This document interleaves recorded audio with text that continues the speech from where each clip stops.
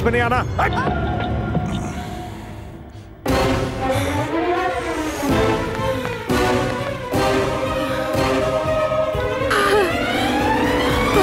मेरा नाम गीता है सर। लाइव बैंड में एक डांसर का काम करती हूँ। चार दिन पहले गुंडे नसीर ने मुझे किडनैप कर लिया और मेरी इज़्ज़त लूट ली सर। शांत हो जाओ बहन। ये लो। अपनी कंप्लेन लिख दो।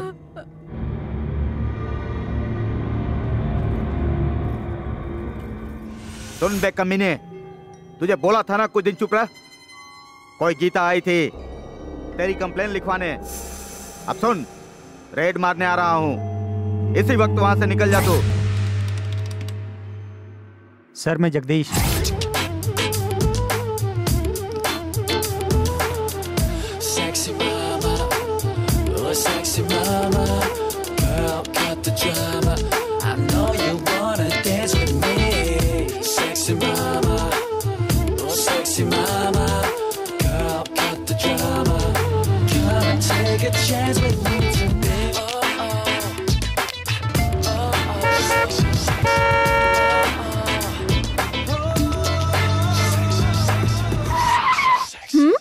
अरे आप यहाँ अकेली कहाँ घूम रही हैं?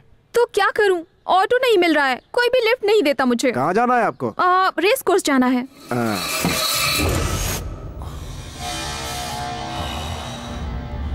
नाम क्या है आपका? अश्विनी। बहुत मस्त हो। ऐसे घूर मत मुझे। गाड़ी क्यों रोकी? पता है मैं कौन हूँ। नसीर भाई। क्या करूँ? मुझमें नशा और जोश कुछ ज़्यादा ही है। आ जाओ।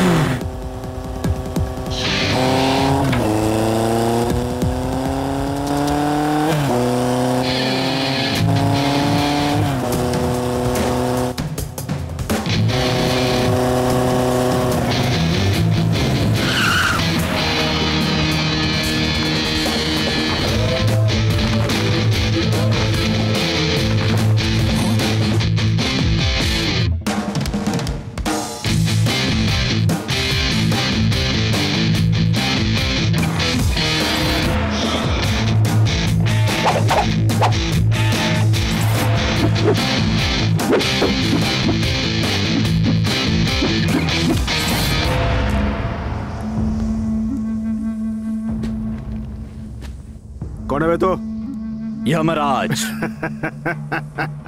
मज़ाक मत कर। तुम जैसों के लिए यमराज हर बार धरती पे नहीं आ सकते बेटे।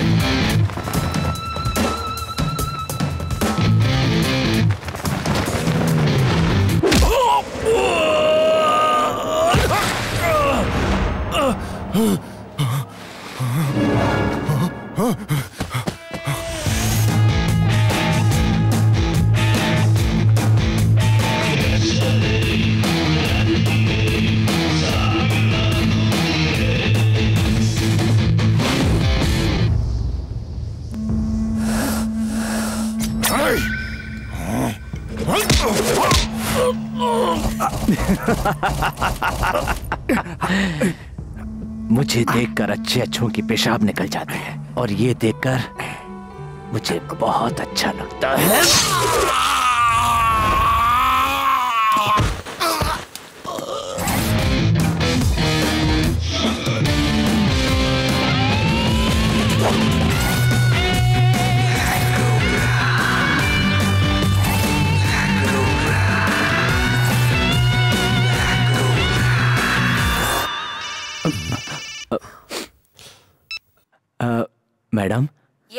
शंकर। ऐसा समाज बना रहा हूँ जिसमें मुजरिम ना हो मैडम। ये भी तो एक तरह का नेक काम है ना?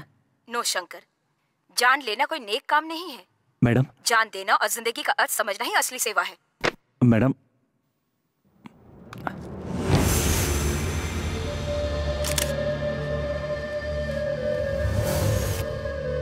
This is too much investigation जहाँ से शुरू हुआ था वो तो अभी भी वहीं पे अटका है। नो no, सर एक सुराग मिला है सर इन सारे मर्डर्स में एक कॉमन बात तो है। जो भी मरा है वो किसी न किसी तरह से औरतों पे अत्याचार और जुल्म करता रहा है। कुछ लोगों पे तो केस फ़ाइल भी नहीं हुआ है। कुछ लोग अदालत में सबूत और गवाह के ना होते हुए बेल ले चुके हैं। सर केस फ़ाइल ना होने के बावजूद ऐसे कांड के बारे में सब कुछ पता चलता है तो बस दरबार हॉल में। दरबार हॉल में? यस बहुत सारे लोग पुलिस स्टेशन और कोर्ट जाने से घबराते हैं। वो बड़े लोग और गुंडों से भी घबराते हैं लेकिन वहीं पे जाकर न्याय की गुहार लगाते हैं। उनकी डिटेल्स पर केस को हैंडल किया जाता है बट फ़ोटो या फिर उसका नाम पता ही नहीं चलता। इसे दो साल पहले शुरू किया था एसीपी शंकर पांडे ने। गुड। अगला दरबार कहाँ होगा पता लगाओ।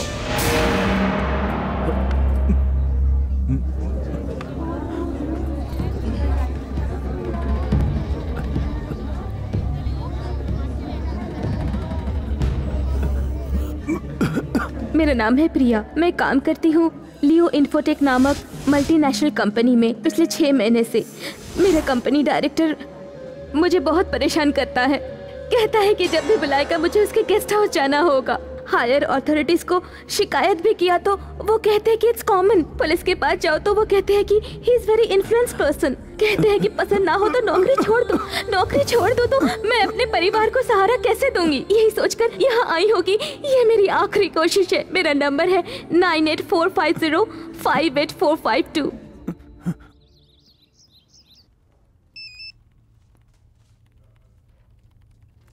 Say yes to Prakash Sibal and fix the place at his residence. ये लो बेटा पकड़ो बरखुरदार काम खत्म चलो। हम्म तो क्या डिसाइड किया है? नौकरी छोड़ोगी? या फिर जिद छोड़ोगी? मैं बाहर तो नहीं चलूँगी। आप कहे तो आपके घर आ सकती हूँ। आज रात ठीक आठ बजे। Hi Lucky hi I am ready लेकिन प्रोग्राम में एक छोटा सा चेंज है। आज कैंसिल करके कल जाना है? No no no no urgent मुझे आज शाम आठ बजे एक मीटिंग अटेंड करनी है। और सुनो मीटिंग खत्म होते सीधे वहीं पे आ जाऊँगा। तुम वहीं पर आ जाना। Okay bye hmm? अरे वाह, क्या टाइमिंग है? कौन हो तुम? कौन हो तुम भाई? यमराज का विजिटिंग कार्ड नहीं होता, बच्चे। मेहनत करने वाली औरतों की मदद करने वाला होता है असली मर्द। और जो मर्द हर औरत पर बुरी नज़र डालने की कोशिश करता है, उसे हमारी दुनिया में नामर्द कहते हैं। काम ऐसी कला है जिससे एक नई जान इस दुनिया में पैदा होती है। वो हद से गुजर जाए तो आग बन जाती है। हमारे मुल्क में जितने भी बुरी नज़र वाले हैं, उन सबको खत्म कर दूँगा। तू अच्छा इंसान नहीं बन सका तो तुझे ज़िंदा रहने का हक भी नहीं है।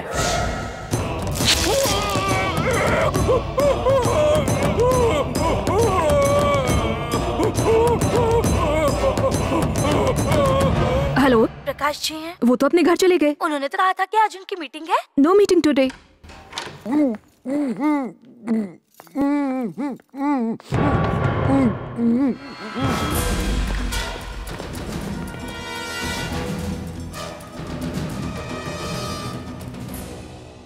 देखिए हमारी तहकीकात में अगर आपने सपोर्ट किया तो हम यकीनन आपके साथ खड़े होंगे।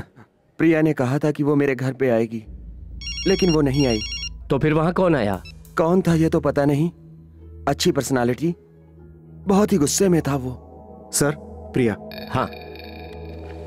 हेलो। प्रिया मैं इंस्पेक्टर कृष्णा बोल रहा हूँ। तुम आठ बजे वहाँ जाने वाली थी पर गई नहीं। वो क्यों? ऐसा करने के लिए मुझे आपके डिपार्टमेंट से ही एक एसएमएस आया था। हाँ? सर ये तो मेरा ही नंबर है। पर मैंने कोई मैसेज नहीं भेजा। भेजा नहीं तो मैसेज गया कैसे? सर दरअसल कल सुबह एक बूढ़े ने मेरा फ़ोन उठाकर दिया था। शायद वही बूढ़ा हो। सर दरबार हाल वीडियो कवरेज सर। इसको लो प्ले करके देखो। श्योर सर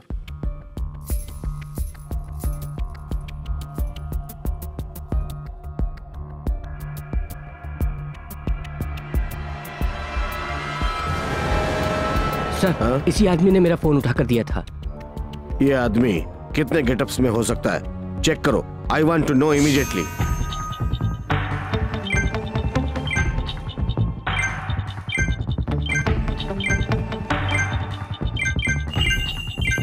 यही है सर यही है वो आदमी. Are you sure hundred percent sir I am sure he is the person यानी कि शंकर पांडे। बुलाओ उसे।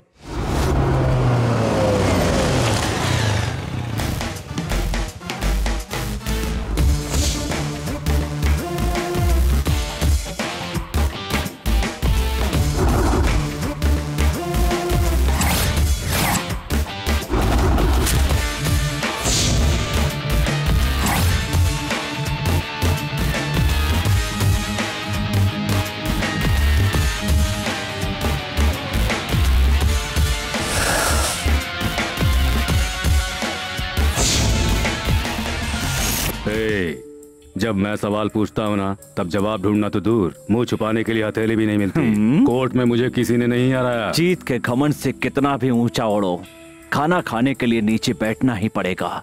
रोटी खाने के लिए सर झुकाना ही पड़ेगा। सच्चाई क्या है आज मैं तुझे दिखा के रहूँगा।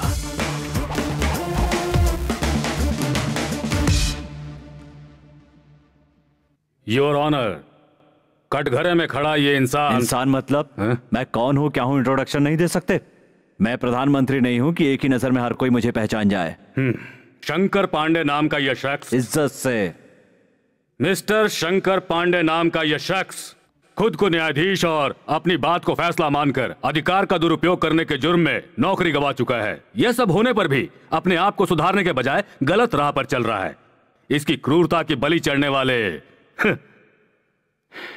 चौबीस आठ सन 2009 को call centre driver Shiv Kumar Anna, सोलह नौ सन 2009 को डॉक्टर वी सिद्धगौड़ा साहब मरे और तीस नौ सन 2009 को फादर रिचर्ड स्टीवन को इसने मारा। और आखिर में 14 अक्टूबर 2009 को सॉफ्टवेयर कंपनी के अधिकारी मिस्टर प्रकाश सिब्बल जी के कत्ल की कोशिश करके उसमें नाकाम होके आज इस अदालत के सामने खड़ा है। ऐसे हैवान को सजाए मौत जैसी कठोर सजा ही मिलनी चाहिए। ये मेरी दरख्वास्त है। नमस्कार your honour mister Raghunath Roy ने डिटेल तो बहुत बढ़िया कलेक्ट की है लेकिन कत्ल करने वाला मैं ही हूँ। इसके लिए कोई गवाह लेकर नहीं आए। आप शायद भूल गए। प्रकाश सिब्बल कत्ल की कोशिश में इस्तेमाल हुए चाकू को कोर्ट में प्रोड्यूस किया गया है। उसके ऊपर आपके फिंगरप्रिंट्स हैं। ठीक है। आपने कहा मैंने प्रकाश सिब्बल का कत्ल करने की कोशिश की थी। क्या मैं उस चाकू को यहाँ पर देख सकता हूँ? Your Honor- क्या हुआ? आप कहते हैं कत्ल मैंने किया है। आप कहते हैं फिंगरप्रिंट्स भी मेरे हैं। इसे मैं अदालत में देखना चाहूँ तो क्या गलत है योर ऑनर दिखाइए।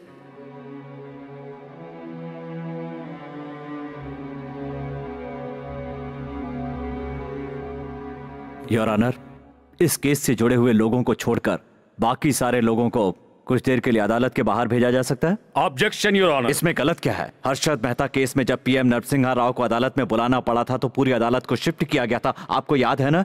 इनफैक्ट राजीव गांधी के कातलों का जब फैसला हो रहा था तब कोर्ट में कोई भी नहीं था योर ऑनर वो उनकी लाइफ का सवाल था। हमारा सवाल भी इससे हटकर नहीं है लाइफ का ही सवाल है। आप लोग सब बाहर जाइए। बोलिए।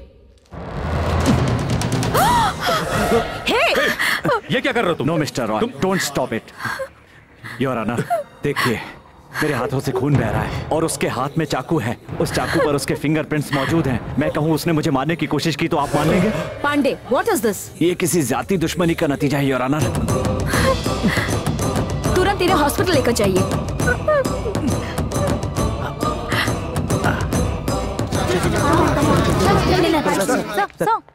कोर्ट में जो आपने हाथ काट लिया बहुत बड़ी खबर बन चुकी है। जब आपको चैनल की टीआरपी बढ़ानी होती है और व्यूअरशिप बढ़ानी होती है तो ऐसे काम करते रहते हैं। चलिए हटाइए हवा आने दीजिए। अपना हाथ काटने की वजह क्या है? सच्चाई दिखाने के लिए किया। इससे आपकी जान जा सकती थी। हम्म। इज़्ज़त बच गई ना? बहुत खून बह गया। डॉक्टर ने एप्पल खाने के लिए कहा है वो मैं खा रहा हूँ। आपके जवाब कुछ घुमावदार लग रहे हैं सर। वही पुराने सवाल छोड़कर कोई नया सवाल पूछिए। आपकी दुश्मनी किससे है? आपका उद्देश्य क्या है? कब तक आप लड़ते रहेंगे? आपके पीछे कौन कौन से लोग हैं? इन सब बातों की सच्चाई हमारे लोग जानना चाहते हैं। क्यों सर? सवाल सुनकर घबरा गए हैं या आपको जवाब नहीं मिल रहा है। सच्चाई जानना चाहते हो?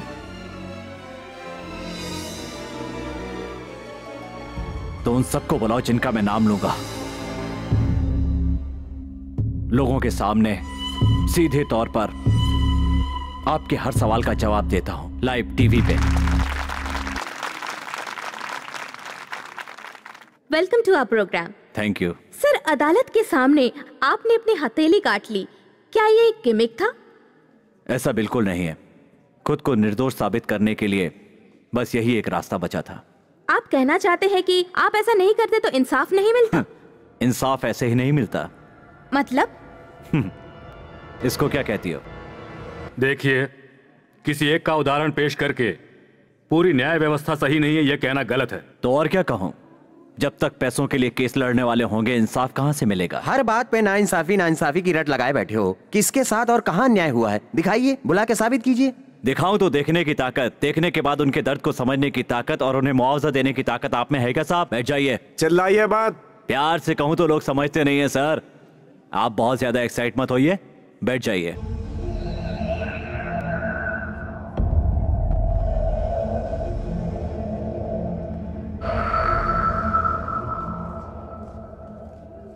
ये सब कौन है पता है? फ़ोटो से भगवान बाहर आ जाए तो कोई पहचान नहीं सकता। तो इन लोगों को कैसे पहचानेंगे? मुँह सोच जाए तो आपके माँ बाप आपको पहचान ही लेते हैं ना? जोक मत कीजिए। जोक करते रहेंगे तो लोग आपको जोकर कहने लगेंगे। प्लीज़ सिट डाउन मेरा नाम जयलक्ष्मी है। जी मेरा नाम शांति है। मेरा नाम श्रुति है। जब मैं दसवीं में पढ़ रही थी तो एक लड़का मुझसे प्यार करता था। घर आकर सुबह शाम वो मुझे परेशान करता था, लेकिन मैंने उसे मना कर दिया था। उसके बाद कुछ दिन तक वो मुझे दिखाई नहीं दिया। एक दिन मैं किसी काम के लिए बाहर जा रही थी तो एक दिन अचानक आकर उसने मुझे प्रपोज किया, लेकिन मुझे उस पर बहुत गुस्सा आया।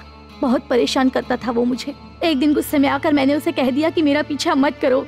जब मैं बस में चढ़ रही थी तो पीछे से आकर उसने तेजाब फेंक दिया। मेरे जो पति हैं, वो हमेशा मुझ पर शक किया करते हैं। और साथ साथ बहुत ज़्यादा शराब भी पिया करते हैं। शक की वजह से ही उन्होंने ऐसा किया। मेरे पति हर रोज शराब पीकर मुझे मारते थे। खुद तो कुछ नहीं कमाते थे और मेरा काम पर जाना भी उन्हें पसंद नहीं था। फिर भी मैं मुश्किल से नौकरी करती थी। महीने के अंत में वो सारे पैसे ले लेते थे। एक बार मैंने नहीं दिया तो वो गुस्से में आके मेरे साथ ऐसा सलूक किया। इन तीनों औरतों के बारे में बाद में बात करूँगा। हमारी मुलाकात एक लड़की की वजह से हुई थी। आपको याद है ना मिस्टर रॉय?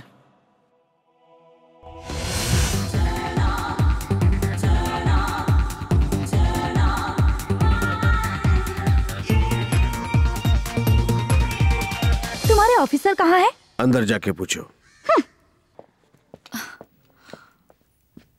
मुझे एक कंप्लेंट देनी थी। बोलिए मैडम। मुझे एक शख्स रोज फ़ोन करके हैरिश कर रहा है। गंदी गंदी बातें करता है। जो भी कंप्लेन करनी है आप इस पे लिख दीजिए। ठीक है। ये कंप्लेंट फ़ाइल में ही सड़ती रहेंगी या फिर क्लियर हो जाएँगी? 24 घंटे में आपकी सारी प्रॉब्लम सॉल्व हो जाएगी। इतनी गारंटी के साथ? जी हाँ बिल्कुल। आग से तेज होती है हवा। हवा से तेज होती है बोली। बोली से तेज होती है बुद्धि। और हमारे साहब तो इन सभी से तेज है मैडम। सलाम वालेकुम साहब। क्या भाई शबीर क्या हुआ? घर में अम्मी अब्बा सब ठीक है ना? क्या है तेरा लफड़ा? साउथ बेंगलोर पूरा हाँ। मेरा है। हाँ हाँ हाँ। ठीक है आगे तो बोलो। जल्दी बोलो यार। वो एरिया मैं देखता था। हाँ हाँ। नॉर्थ में शरीफ। ओ ये बात है। और सेंट्रल सोमा संभालता था। और अब ये कमीना घुस गया है हाँ हाँ। नमस्ते साहब। तो ये है वो खिलाड़ी? ए देखने में तो मच्छी बेचने वाला लगता है। ये कोई खिलाड़ी है? हा? अरे भाई ये बताओ। सारे रूल्स तुम लोग आपस में ही बना लोगे तो इलेक्शन जीतने वाले एमपीस क्या करेंगे? हा? एक काम कर सकते हो पुलिस डिपार्टमेंट को भी थोड़ा काम करने दो। ना मत बोलना हम लोग अपने कपड़े उतार देंगे। तुम लोग उसे पहनकर हर आदमी का एक एरिया संभालना शुरू कर दो। प्रॉब्लम क्या है तुम लोगों की? हम में से किसी एक को इलाका छोड़ना होगा। कौन छोड़ेगा अभी बता दो। तो, तो कोई वकील है की दलील दे रहा है साले? ए पहले जाके इसके बाल कटवा। पुलिस वालों से ये सब काम करवाने लगे हो। निकलो तुम लोग आपस में फैसला कर लो। ए निकलो। जाओ बात कर लो जाओ। ए तू भी जाओ लफड़े मत करो जाओ। अकल नहीं है सालों को। काट के फेंक दूँगा। नहीं छोड़ूँगा। ऐसे कैसे कोई छोड़ेगा? बोलो क्या बात है लखन? सर एक कंप्लेंट आई है। एड्रेस है number five bar one Vireshwar Nilay Pataliputra main road forty three last bus stop अरे बाप रे बाप क्या बात है? क्रिमिनल्स आजकल एड्रेस देके क्राइम करने के लेवल तक पहुँच गए। अरे वाह वाह वाह वाह वाह very good very good Anil go and get him बाद में कुछ हो जाए पंगा तो मुझे मत आते समय साले की अच्छी तरह खातिरदारी करके आना। हम्म। ए खत्म हुआ कि नहीं? बस सर पाँच मिनट दीजिए सर हम्म। साले कमी नहीं अगर इतना टाइम होता तो देश की ऐसी हालत नहीं होती। एक मिनट देता हूँ। नरेश सर का फ़ोन। धंधे में ऐसा नहीं होता है। क्या हुआ नरेश? सर रिपोर्ट के हिसाब से लड़की की उम्र 18 से 20 के अंदर है। हाँ तो उस मिसिंग कंप्लेंट में इस एज ग्रुप के कितने लोगों का नाम है देखो। देखा है सर छह केस है अच्छा अच्छा अच्छा अच्छा अच्छा। वेरी गुड वेरी गुड वो ब्लड ग्रुप किससे मैच हो रहा है ये देखता हूँ। उसके बाद हमें इंक्वायरी करनी पड़ेगी sir carry on carry on good हाँ क्या लफड़ा चल रहा है तुम लोगों का? सर एक मिनट प्लीज़ बैंगलोर तेरे बाप का है क्या? बाप का है तेरे बैंगलोर? साले एरिया एरिया बांटने चले एरिया बांटने चले हैं? इधर आ। एरिया बांटना चाहते हो सालो तुम लोग? कमीनो जो भी दादागिरी करनी है अपने घर के अंदर दिखाओ। अगर बाहर आए लफड़ा किया दादागिरी की और तुम्हारी वजह से पब्लिक को परेशानी हुई ना तो तुम लोगों को अंदर नहीं करवाऊँगा। इधर आवे सीधा एनकाउंटर करवा दूँगा। समझ गए? तेरी तो इधर इधर इधर इधर इधर इधर अपने माँ बाप से कह के कफन तैयार करवा लो सालो। ऊपर जाने वाले हो। सुअर के औलाद कहीं के पब्लिक में लफड़ा करोगे? बेंगलोर तुम्हारे बाप का है तुम्हारे नाना का है। मार डालूँगा हट। ओ ऐसे भी साहब तो ज़्यादा ही जोश में लगते हैं। एक दो महीना हफ़्ता पहुंचाएँगे तो ये भी लाइन पे आ जाएँगे। हाँ।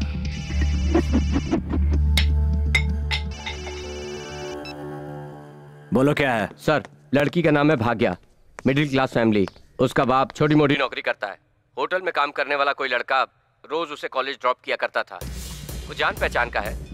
लेकिन इस हादसे के बाद उसने नौकरी छोड़ दी है। एक मिनट होल्ड करो कृष्णा। ए कौन था वो कबीना जिसने मुझे हफ़्ता देने की बात बोली थी? ईमानदारी से बताओ कि वो कौन है तो वो अकेला मरेगा। बचाने की कोशिश करोगे तो सबके सब मारे जाओगे हाँ? तो इसलिए उस होटल ओनर के पास उसका एड्रेस लेने जा रहा हूँ sir. Very good Krishna. Keep it up. Let us finish it today.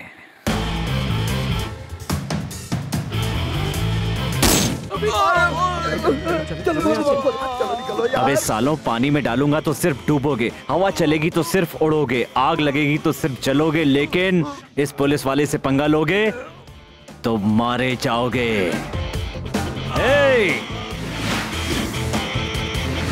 Shankar IPS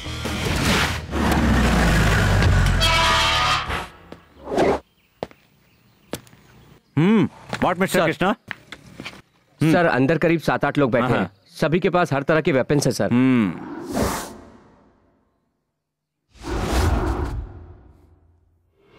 भाग्या जी के कत्ल के केस में तुम सबको अरेस्ट करने आया हूँ। ए, अंदर तो आ गया। बाहर कैसे निकलेगा? सोच ले बेटे। हाँ। सुन बेटे जब माँ के पेट से बाहर आने के लिए मैंने डिसाइड किया था ना तो मेरी माँ ने भी मुझे नहीं रोका। साला डॉक्टर भी मुझे नहीं रोक पाया। तो ये मामूली सा अड्डा और तुझ जैसा गुंडा क्या रोक पाएगा? तो चुपचाप चल रहे। ए, काके। ए, ए,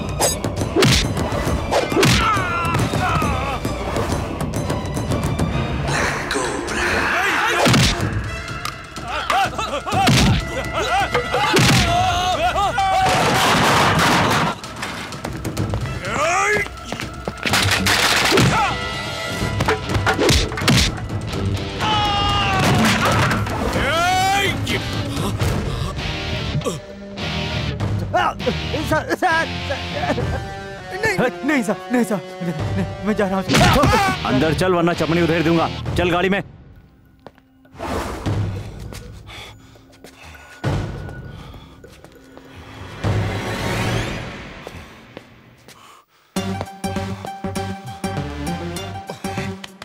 ए चुप बैठना हरामी। एसीपी यहीं कहीं होगा। नमस्ते साहब। बोला ना गाड़ी में बैठ। अरे बैठो सालो वरना खालो फेरता रहूँगा। बहुत बड़े गुंडे बनते हो। चलो चलो अंदर। छोड़ दो छोड़ दो। या और मार खाओगे। चल। चलो। चल अंदर। बैठ। ए चल सीधे। सर? यस। यही है सर विनय जो एड्रेस देकर क्राइम करता है। हम्म। नमस्ते ये कौन है? हम लोग भाग्या के माँ बाप हैं साहब क्या भाई? ठीक हूँ, विनय कुमार जी कैसे हैं हाँ जी, सर। खाना खा लिया? ओ लगता है नहा कर आए हैं। शैम्पू की खुशबू अच्छी है। आहा बहुत खुशबू आ रही है। बढ़िया परफ्यूम लगाया है। अच्छा बॉडी स्प्रे यूज़ करते हो। बढ़िया पैंट है रिबॉक शूज़ पहना हुआ है। बहुत बढ़िया शूज़ होंगे है ना? दर्द हुआ? नहीं दर्द होता है क्या? नहीं सर। नहीं होता ना? हम्म बहुत ही गर्म खून है शायद तुम्हारा। अपने माँ बाप को बोल दो। अगर खुजली बहुत ज़्यादा बढ़ गई है तो साले जल्दी से शादी करवाने को बोलो उनसे। ऐसे गंदे काम नहीं करने का बेटे। मोबाइल किस लिए रखते हो? घटिया जोक्स भेजने और वीडियो बनाने के लिए? ए, अपनी माँ और अपनी बहन का वीडियो बना के शहर भर में दिखाना साले। अबे साले कभी ने घूरता क्या है तू? मुँह क्या दिख रहा है? आँखें निकाल के गटर में फेंक दूँगा साले। साले लोफर कहीं के टेक्नोलॉजी का पॉजिटिव यूज़ करो नेगेटिव यूज़ मत करो। बता साले इस देश का भविष्य क्या होगा बता? तो जैसे लोग होंगे तो इस देश का क्या होगा? ए, इस हरामी को ले जाकर खूब पिटाई करो बैंड बजा दो।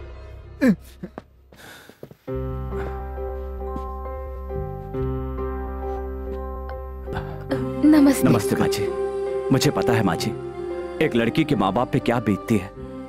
कई सालों तक आप लोग अपना पेट काटकर अपने बच्चों की परवरिश करते हैं। और इन कमीनों ने आपकी बेटी को जान से मार डाला।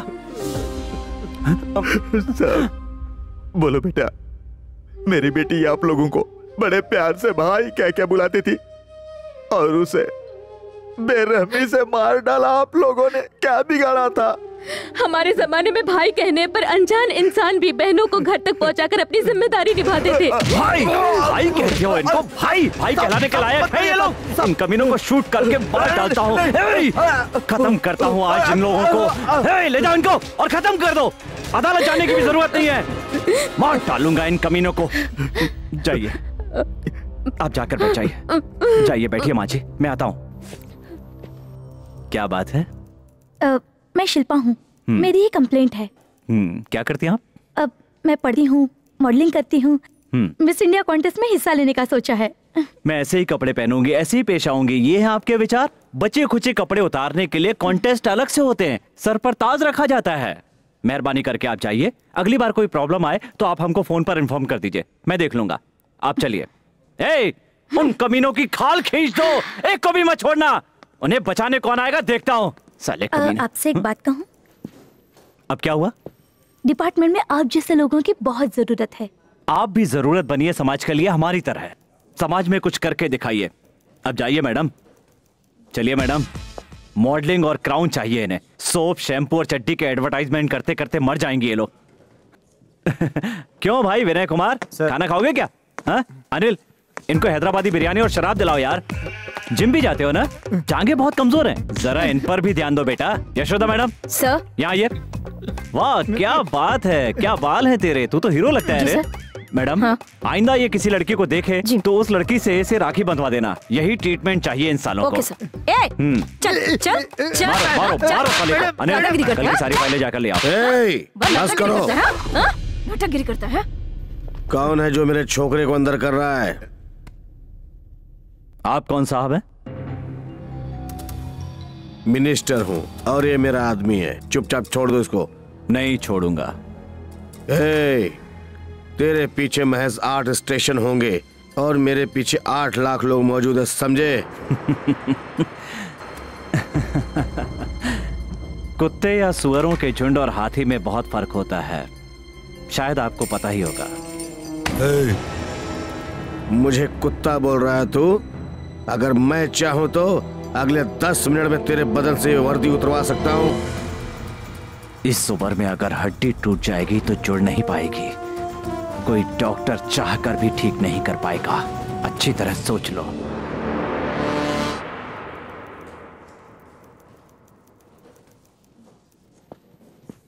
देखो बेटे, मैं यहाँ आया हूँ तोड़ने के लिए नहीं, सुधारने के लिए। तोड़ने का इरादा कर लिया तो ऐसे तोड़ता हूँ कि वो फिर नहीं जुड़ पाता। और जिसे तोड़ता हूँ, वो जान छोड़ देता है। दिमाग खराब हो गया ना? तो जान से मार देता हूँ मैं। बस एक बार पता चलना चाहिए कि किसी ने गुनाह किया है। अगर उसकी सिफारिश नहीं आती तो उसी दिन मार देता हूँ। और अगर सिफारिश आती है तो उस दिन छोड़ देता हूँ। अगले दिन धोता हूँ, फिर से धोता हूँ, वापस आके धोता हूँ। जहाँ मिले वहाँ धोता हूँ। गलती की तो मारता हूँ, नहीं की तो गलती करवा के मारता हूँ। तू क्या करना चाहता है डिसाइड कर ले। मैं हमेशा ऐसा ही रहूँगा। कोई सिफारिश मेरे सामने काम नहीं आएगी बेटे। संभाल कर रहना। देखो सर आज रात किसी तरह मैं यहीं रह लूँगा। मेहरबानी करके। एसीपी ये जो तू कर रहा अच्छा नहीं है बहुत पछताएगा तू। आप भी कोई दूध के धुले नहीं है सर। ऐसे हरामियों का साथ दे रहे हैं आप। आ जाओ जाओ हाँ अरे हम चलो, जो पता चले उसी के बारे में हाँ। सर एक कंकाल के बारे में आप जो तहकीकात कर रहे थे हमने सुना है कि वो सॉल्व हो गया क्या ये सच है? सुना है कि केस बहुत दिलचस्प था। कैन यू एक्सप्लेन इट इस केस के बारे में बताऊँ तो सबसे पहले हमें एक खोपड़ी मिली थी और कुछ हड्डियाँ भी मिली थी। उन्हें हमने लैब टेक्नीशियन के पास भेजा और उन्होंने इसका अच्छा सा फॉर्मेशन किया तो हमें पता चला कि एक लड़की की खोपड़ी थी। और जब मैंने और मेरी टीम ने इन सारी लड़कियों की लिस्ट बनाई जो शहर से गुमशुदा थी बोन बैरो कलेक्शन को हमने लैब में भेजा और डीएनए रिपोर्ट से हमें पता चला कि मरने वाले की उम्र 18 से 25 साल के अंदर की थी और यकीनन ये किसी लड़की की ही खोपड़ी थी। बस हमारी आधी समस्या सुलझ गई। आगे शॉर्ट आउट करने पर इस उम्र की कुल छह लड़कियाँ मिसिंग थी। हर फैमिली के ब्लड सैंपल हमने लैब में भेज दिए। और वो मैच हुए सिर्फ़ इन पेरेंट्स के साथ। बाद में पता चला कि उस लड़की से राखी बंधवाने वाले कुछ कमीनों ने ही उसे ले जाकर उसकी हत्या कर दी थी। बिफोर दैट रेप या ब्रूटल मर्डर एंड रेप और फिर? उस लड़की के माँ बाप को हम उसकी बेटी तो नहीं लौटा सकते लेकिन मैं और मेरी टीम भले ही कितनी भी मुश्किल आ जाए अदालत में उनको इंसाफ ज़रूर दिलवाएँगे। जनता को कोई संदेश देना चाहेंगे? Shankar Pandey is an action इस देश में प्रजातंत्र है। यहाँ चलना चाहिए प्रजा का राज लेकिन यहाँ चलता है गुंडों का राज। इसीलिए मैं चलाता हूँ पुलिस का राज। जीने की इच्छा है तो बदल जाओ या भाग जाओ। दोनों नहीं कर सकते? तो जान से जाओ। ए, तुम इस तरह के कपड़े पहनोगे तो तुम्हारे बारे में लोग बुरी बातें करेंगे ना?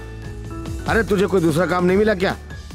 मिस इंडिया बनना है मिस इंडिया शुक्र है कि साहब को पता नहीं चला कि तुम मेरी बेटी हो। एक तो बड़ा ही सन की आदमी हो, बंदा। देखो, फ़ैशन, मॉडलिंग मिस इंडिया बोलती है। खूबसूरती जो है ना, वो बदन में नहीं, मन में होती है, देखने वाले की नज़रों में होती है। ऐसा है तो नेक नज़र से देखना चाहिए। इसे क्यों बुरी नज़र से देखते हैं? वेल सेड मॉम नहीं चाहिए आहा, हम पेट भरने के लिए मेहनत करते हैं। ये खाने में मेहनत करती है।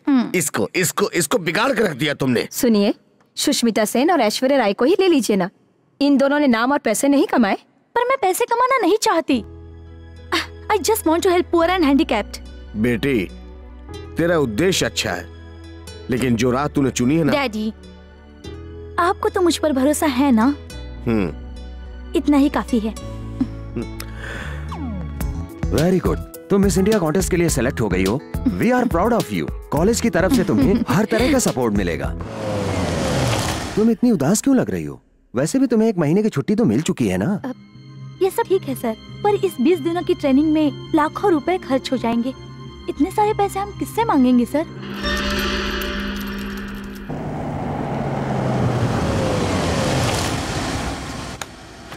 Be sexy if you wanna succeed. Be sexy, cause that's what I need. Be sexy if you wanna be a man. Be sexy, I'll make you understand. Be sexy if you wanna succeed. Be sexy, cause that's what I need. Be sexy, you wanna be a man. Be sexy, I'll make you understand. You are Shilpa? जी हाँ Hi. Hi. We are from Crazy Group. Uh, this is Meetu. Hi. Your hairstylist. Mahesh, the poster director. Hi. Jax, photographer. Hello. And this Hello. is Aditi, costume Hi. designer. Hi.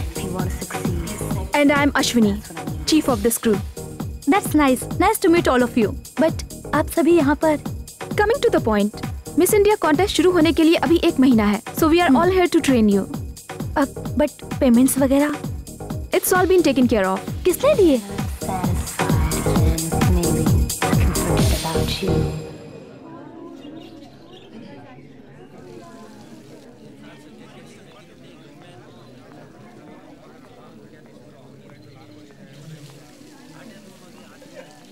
You see we are running a business here not a charity show हमारे लिए investors बहुत अहम हैं। जो भी investors आए cash them almost about one lakh shares तो हैं sir that's fine sir what does she want let me ask या यस प्लीज़ सकलेचा सर से मिलना था मुझे. Sure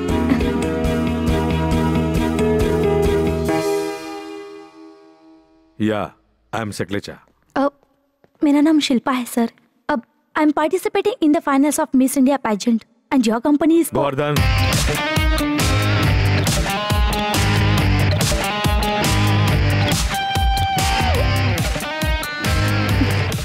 hi hi I am Shilpa Saklecha Govardhan Saklecha mom she Shilpa Miss India contest के लिए चुनी गई है. I want to help her on finance side help करना चाहते हो या हेल्प कर चुके हो?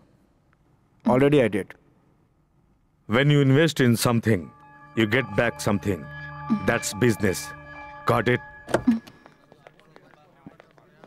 Sir नमस्कार नमस्कार मुझे तो आप जानते होंगे मिनिस्टर हूँ। क्या चाहते हैं? आ, कुछ नहीं इलेक्शन अभी सर पे।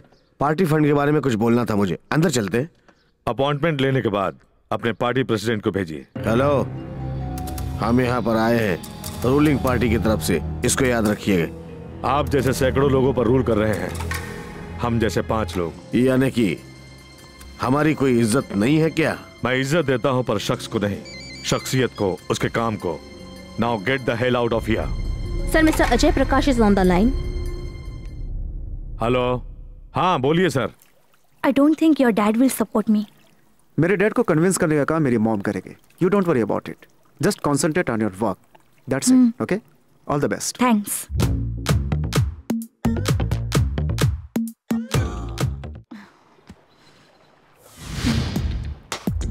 Hi. Hello, relax. Don't worry. So, how is your preparation? It's good. So, next month, definitely वो मिस इंडिया क्राउन तुम्हारे सर पे होगा आई होप सो ये सब आपकी बदौलत हुआ है मैं आपको कैसे थैंक्स कहूँ मुझे समझ में नहीं आ रहा। वेरी सिंपल मेरे साथ तुम हर चीज़ शेयर करो that's it what do you mean I mean lunch dinner feelings and some nights what are you talking इतना भी नहीं समझती। सिर्फ़ एक रात तो गुजारनी है। आप इतने चीप हो सकते हैं ये मुझे पता नहीं था। What do you mean by cheap it happens no I am not ready for this thing just think over it लो तुम मेरी एक दिन की रानी बनोगे तो आगे भारत की रानी बनोगे। I mean Miss India you slapped me not you only अगर इसी तरह बिहेव किया ना तो तुम्हारे डैड को भी मारूँगी। अभी तो मैंने सिर्फ़ तुम पर हाथ ही उठाया है। फिर से कहा ना तो सैंडल टूटने तक तुम्हारे मुँह पर मारती रहूँगी। तू उस मिस इंडिया कॉन्टेस्ट तक कैसे पहुंचेगी मैं भी देखता हूँ। आज के बाद से इसे ट्रेनिंग कोई भी नहीं देगा। You just get out of here out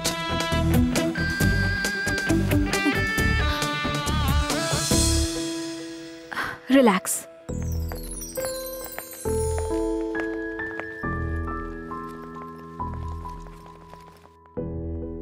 mom मैं इस कॉन्टेस्ट में पार्टिसिपेट नहीं करूँगी। बेटा सोच समझ के फैसला करो। कुछ तो करेंगे ही।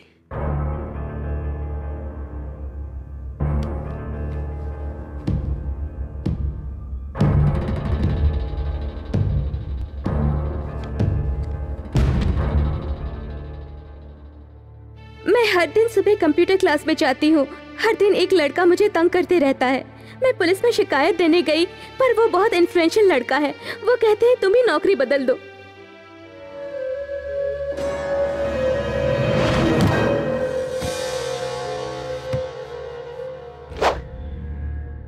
वो पुलिस स्टेशन आके कंप्लेंट नहीं करना चाहती। उसे पता भी न चले कि तुम पुलिस वाले हो। हेलो? कितने दिन से तुम मिली नहीं? हेलो? उधर क्या देख रही है? इधर देख। तू कहीं भी जा पर कुछ नहीं कर सकती। तू सिर्फ़ मेरी है समझी ना? ए, ए, कौन है रे तू? पता है मैं कौन हूँ? हमें नहीं जानता ना शंकर को तो जानता है ना।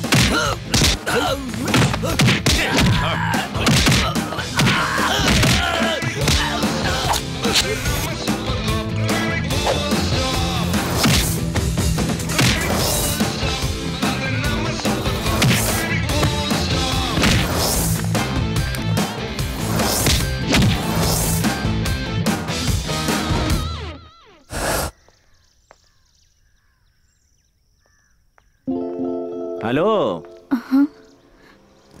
क्यों ब्यूटी क्वीन? कैसी चल रही है तुम्हारी ब्यूटी कॉन्टेस्ट की तैयारी? मैं कॉन्टेस्ट में पार्टिसिपेट नहीं कर रही हूँ। क्यों?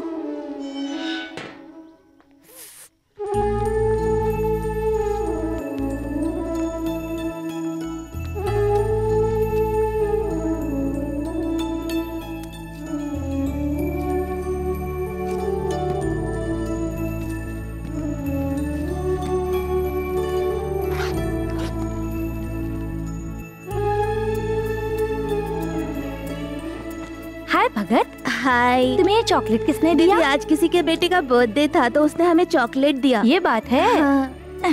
दीदी मेरा बर्थडे कब आएगा? तुम्हारा नाम क्या है? भगत।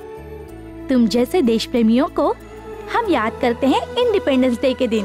सो तभी है तुम्हारा बर्थडे। दीदी मेरा बर्थडे तो कोई नहीं मनाता। बाकी सारे लोग अपने बच्चों के बर्थडे अपने घर के अंदर मनाते हैं। लेकिन तुम जैसों का बर्थडे तो पूरा देश मनाता है। पूरा देश?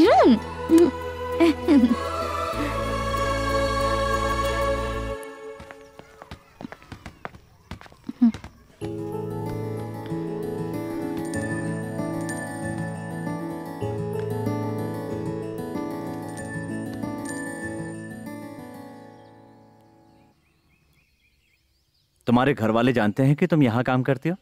जानते तो हैं लेकिन पापा कहते हैं कि पहले पढ़ाई करो। मेरी माँ सपोर्ट करती है। अब तो हर घर की यही कहानी है। Who is your father Surendra Nath आपके स्टेशन के सेंट्री मैंने जब कहा कि मैं मिस इंडिया कॉन्टेस्ट में जाऊँगी तो बदन दिखाकर ताज पहनना कौन सा बड़ा काम है ऐसा कहा था आपने? मुझे नाम कमाना है एड्स में। फ़िल्मों में एक्ट करना चाहती हूँ ऑटोग्राफ देना चाहती हूँ। ऐसी सोच नहीं है मेरी। एटलीस्ट साल में एक बार तो इन सबको कपड़े दिला सकूँ। हम किसी पर भी निर्भर ना रहें, ऐसी भावना उनमें पैदा करना चाहती हूँ। लेकिन इन सब के लिए थोड़े पैसे चाहिए, यही ख्वाब है। पहले तो मैं बहुत खुश रहती थी, लेकिन अनाथ आश्रम में आने के बाद मैं भी गरीब हूँ। भगवान ने मुझे भी धोखा दिया है, ऐसा लगता है मुझे। हम्म good very good Miss India के अंदर भी कोई मदर टेरेसा छुपी है मुझे अब पता चला। God bless you yes ACB Shankar Pandey बोल रहा हूँ। जी हाँ पाँच मिनट के बाद आप स्टेशन आ जाइए आपसे कुछ ज़रूरी बात करनी है मुझे। सर हाँ। ओके क्या है सर क्या क्या है जब देखो ड्यूटी सिंसियरिटी पोलाइटनेस के नाम पे पूरी ज़िंदगी गुजार दी। सुरेंद्र नाथ साहब सर। सब बच्चे पैदा करते हैं। आपने तो माँ पैदा की है। Sir.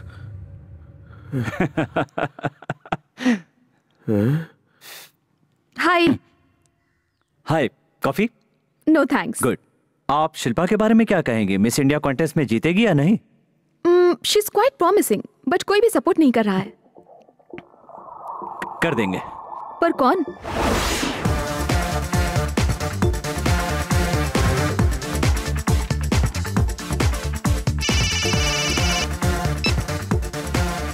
पांडे सर ने बताया उस लड़की को ब्रांड एम्बेसडर बनाने के लिए काफ़ी कंपनियाँ लाइन में खड़ी हैं। हम एक बार इनसे मिलना चाहेंगे so that we can decide now itself fine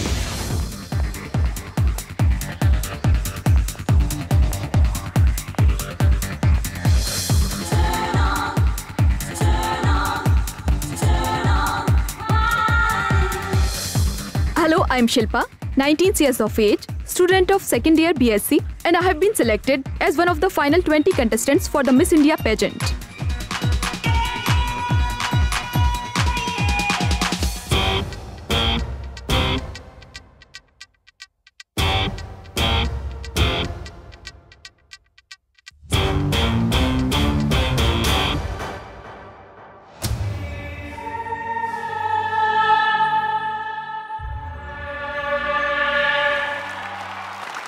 तुझे एक अच्छा बिजनेसमैन समझता था। But you not you have missed her and you have missed a lot यहाँ तक पहुँचने के लिए मेरी सफलता में जिनका हाथ है वो है अश्विनी जी और एसीपी शंकर पांडे। गुरु ये तालियाँ सुन रहे हो? तुम्हारा सपोर्ट मिले ना मिले वो तो मिस इंडिया बनकर ही रहेगी। Well done, Shilpa. Keep it up. Thanks. ACP Shankar Pandey please come on stage sir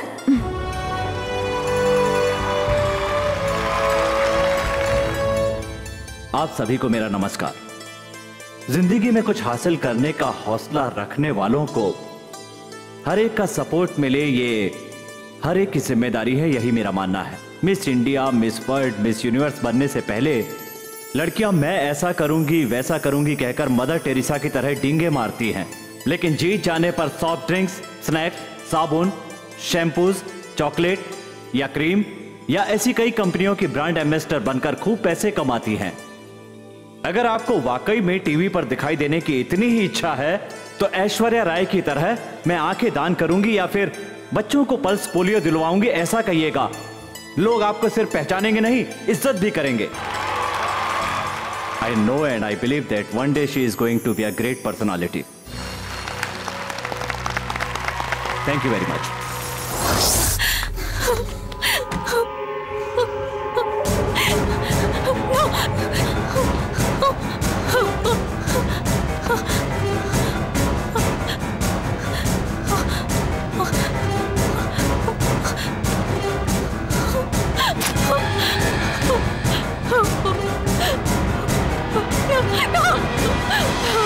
hey, तेरा बलात्कार करना मेरे लिए कोई बड़ा काम नहीं है।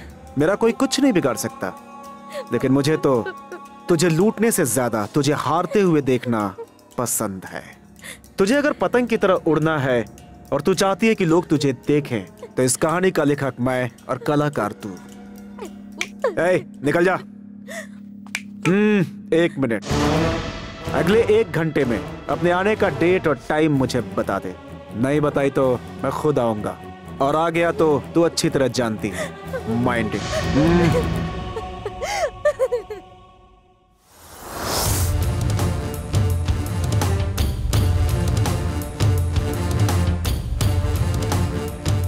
सर अपॉइंटमेंट लिया क्या? अपॉइंटमेंट की ज़रूरत नौकरों को होती है रे मौत को नहीं।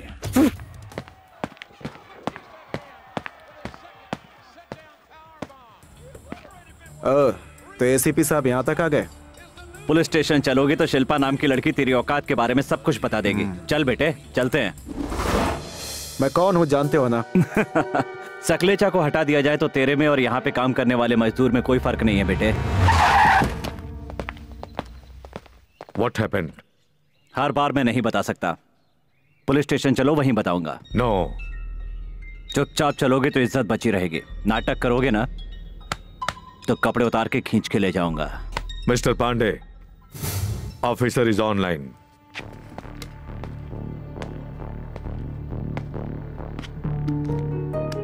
Sir. Pandey क्या बात है? Attempt to rape sir. पैसे वाले और कुछ पॉलिटिशियन समझते हैं कि पूरा देश उन्हीं से चलता है। इसलिए लोग हमको विलन की तरह देखते हैं। मेरे लिए क्या ऑर्डर है? छोड़ना मत। स्टेशन लेकर जाओ उसको। यस सर लॉयर के आने से पहले उसकी जम के खातिरदारी करो। यस सर जरा ज़ोर से करना। एफआईआर तो हो चुका है। सॉरी सर बोल के निकलो। सॉरी सर एफआईआर तो लिख चुकी है। फ़ोन उसको दो। सकलेचा साहब एफआईआर लिखा जा चुका है तो अदालत में पेश करना होगा। पुराने लोग अब नहीं रहे। ये जो नए लड़के आए हैं हायर ऑफिसर का वेट ही नहीं करते। इट्स बेटर आप किसी अच्छे लॉयर से कंसल्ट कर ले।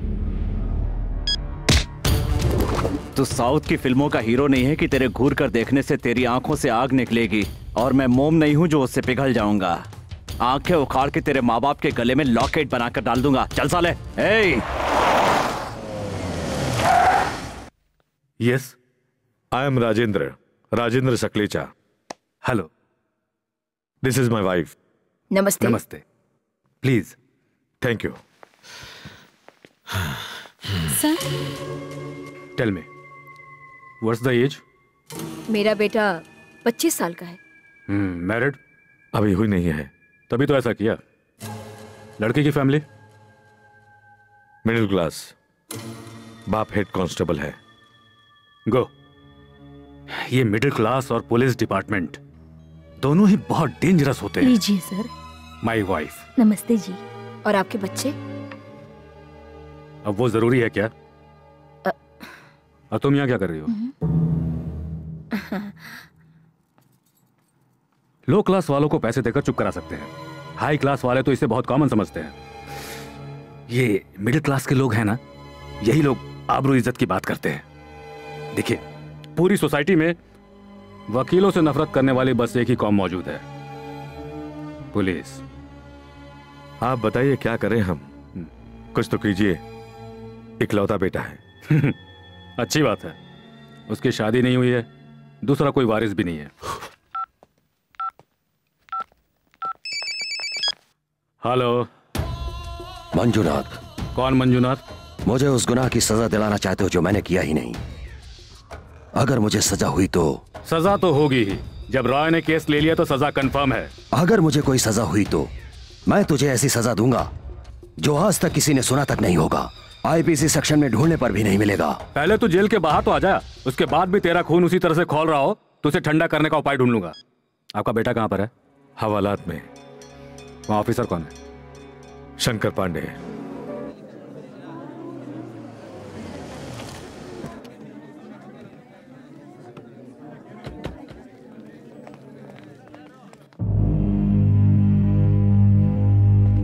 आवाज़ निकाली तो पकड़ के मारूँगा बता दो उसे। अदालत में देख लेंगे उसे। हमसे पंगा लेने चला है। नमस्कार। क्या हुआ? पूरी टोली के साथ आए हो? बेल के कागजात भी साथ लाए होगे। सड़क छाप कुत्ते को छुड़वाने के लिए। Mister mind your language I am sorry गले में सकलेचा नाम का बिल्ला जो पहना था इसीलिए मैं उसको कुत्ता समझ बैठा वो तो ठीक है। एक्चुअली हुआ क्या है? ये क्या वकील साहब? आप तो बिल्कुल अनजान से बन रहे हैं। इसके ऊपर रेप अटेम्प्ट हुआ है इसे धमकाया गया है मेंटली हरास किया गया है। ओ, एक साथ तीन तीन केस। अटेम्प्ट का केस किस लिए? रेप हो गया यही केस डाल दो ना। सर्टिफिकेट मैं दिला दूँगा।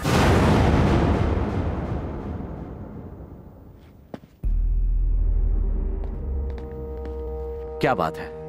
बेटी की जान से ज़्यादा ड्यूटी प्यारी हो गई मैं क्या करूँ sir? There is a problem A participant of Miss India contest should be virgin. Do you know the meaning of virgin? कुमारी जिसकी इज़्ज़त नहीं गई है वो कन्या। वैसे रैम पे चलने वाली हर लड़की को पता होता है वो क्वालिफाई नहीं होगी। साबित कर सकती हो ऐसा नहीं है। मगर ये साबित करने के लिए अदालत जाना पड़ेगा। एक बार जब अदालत में आ जाओगी वहाँ पर क्या क्या होगा कैसे होगा तब तक तो मिस इंडिया कॉन्टेस्ट खत्म हो चुका होगा। सो so, डिसाइड कर लो। बदला लेना है या फिर कुछ हासिल करना है। गलती हो गई है ओके सब ठीक हो जाएगा। गटर खोदने जाओगी तो बदबू भी ज़्यादा फैलेगी।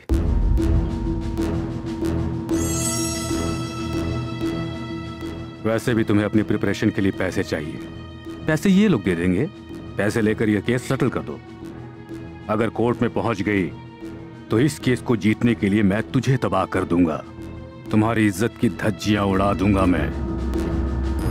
बस एक बार कह दो कि ये केस ज़रूरी है। तब सिर्फ़ ये बड़े लोग ही क्या? दलालों के साथ साथ सरकार के बड़े मंत्री भी क्यों ना आ जाए? सबको उंगली पे नचाने का वादा करता है ये शंकर पांडे। देखो बहन जो हो गया सो हो गया। आप बताइए आपको क्या मदद चाहिए? हम करेंगे। मिस्टर सुरेंद्र अगर अदालत में जाओगे तो दोनों परिवारों की इज़्ज़त चली जाएगी। आप लोग लड़की के माँ बाप हैं याद रखिए। जाने दीजिए सर इसे यहीं खत्म करते हैं। मैंने कहा था मॉडलिंग मत करो लेकिन सुना ही नहीं। आई एम रेडी शिल्पा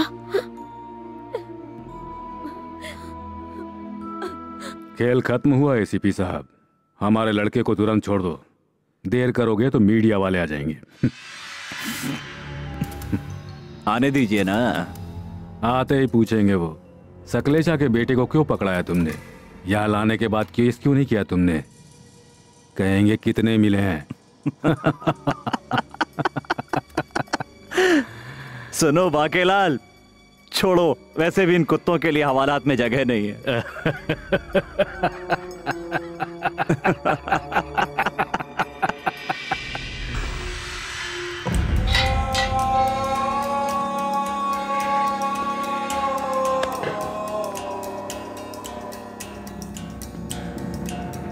घर पे आके पैसे ले जाना।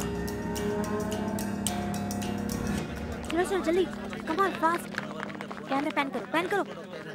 सर सकलेचा जी के बेटे को आप क्यों लाए थे? एक मासूम लड़की के रेप अटेम्प्ट करने के जुर्म में तो फिर छोड़ क्यों दिया? उन्होंने साबित कर दिया कि वो लड़का मर्द नहीं है। साथ में डॉक्टर का सर्टिफिकेट भी लाए थे। घर पर होता तो साड़ी पहनता। पुलिस स्टेशन आया इसलिए पैंट पहन के आया है बेचारा। सर एसीपी साहब ने जो कहा वो सच है? सोलह आने सच है। अगर वाकई में मर्द होता तो सामने जो साहब खड़े हैं वो हमारी छुट्टी कर देते। समझौते के लिए दलालों को साथ लेकर नहीं आते ये। ए, वकीलों को तुम नहीं समझते। पुलिस वालों को तुम नहीं समझ सकते। तुम लोग हालात के हिसाब से रंग बदलते हो। कानून की किताब पढ़कर झूठी कहानियाँ रचने में बहुत माहिर हो।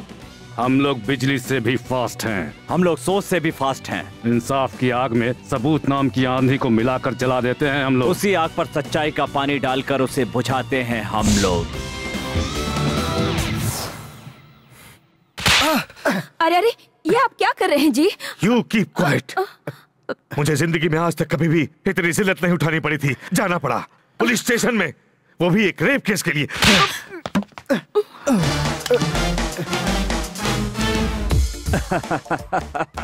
Super sir. ऐसा तमाचा पहले जड़ा होता तो पत्थर मूर्त बन गया होता।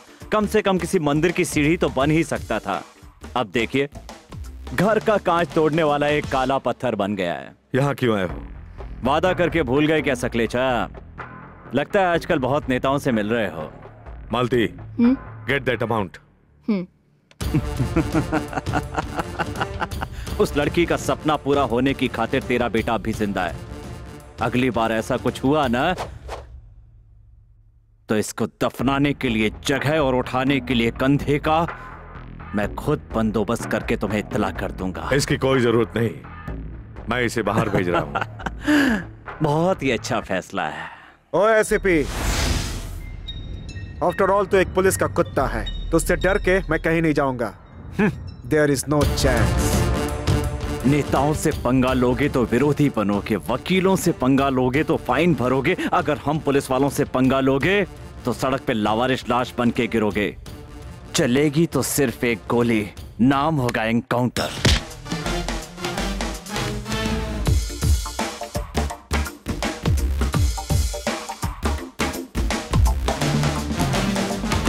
उस लड़की ने मेरा जीना हराम कर दिया है। भूल जाओ उसे मरने दे यार।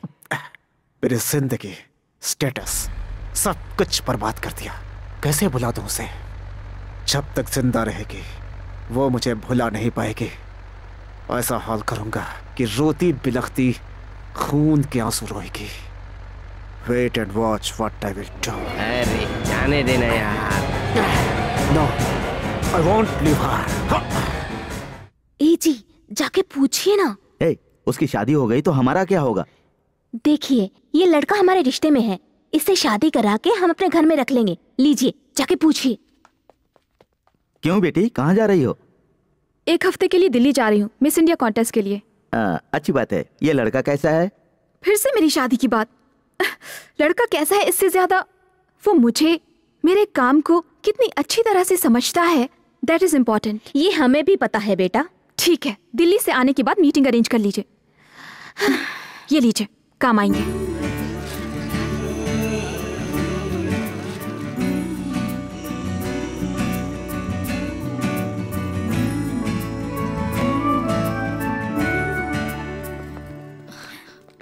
पापा मैं जा रही हूँ। हाँ, जाओ बेटी। ये क्या कर रहे हैं आप? आज भी ड्यूटी के पीछे पड़े हुए हैं आप। बेटी को विश करके हौसला बढ़ाइए इसे हिम्मत मिलेगी। ये देखो इनको। कल के दिन आपकी बेटी मिस इंडिया बनेगी बड़ी सेलिब्रिटी बन जाएगी तो उसे सिक्योरिटी देने के लिए हमें ही जाने पड़ेगा ना? क्या सुरेनाथ जी आप भी? विश कीजिए विश कीजिए बेटे को। ठीक है सर विश कीजिए। टोपी मुझे दीजिए। लाइए जल्दी दीजिए ना। ये लो Patil. Hold the rifle man yes आइए। हम्म। बेटा सपने देखना आसान है, लेकिन उसे पूरा करने की जिद है ना, बहुत मुश्किल है।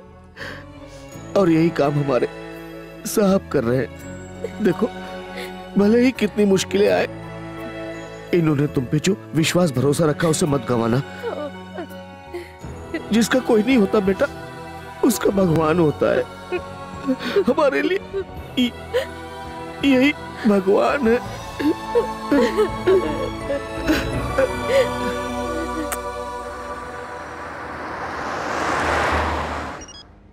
Mahesh we are on the way अभी डायरेक्टली एयरपोर्ट आ जाइए। हाँ?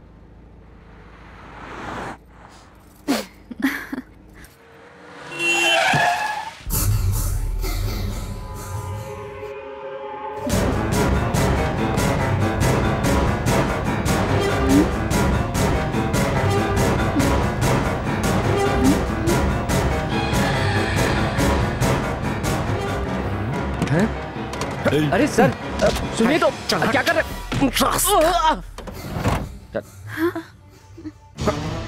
You stupid! Stop it, I say! Stop it! बारह नहीं छोड़ दो मुझे। छोड़ो। Leave मुझे चप्पल से मारेगी। मिस इंडिया बनेगी तू? बनाता हूँ Oh, तुझे no! बताइए क्या है? एसिड No, no, please छोड़ दो।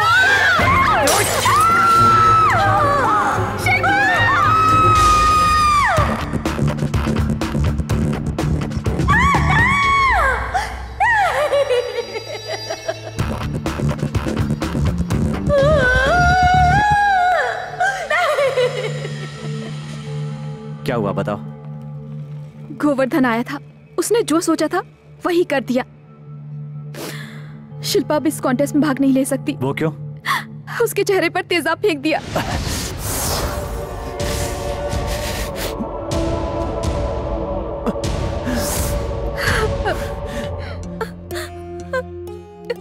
डॉक्टर क्या कहते हैं माँ जी? जान का कोई खतरा तो नहीं है सर। लेकिन सर्जरी करनी पड़ेगी।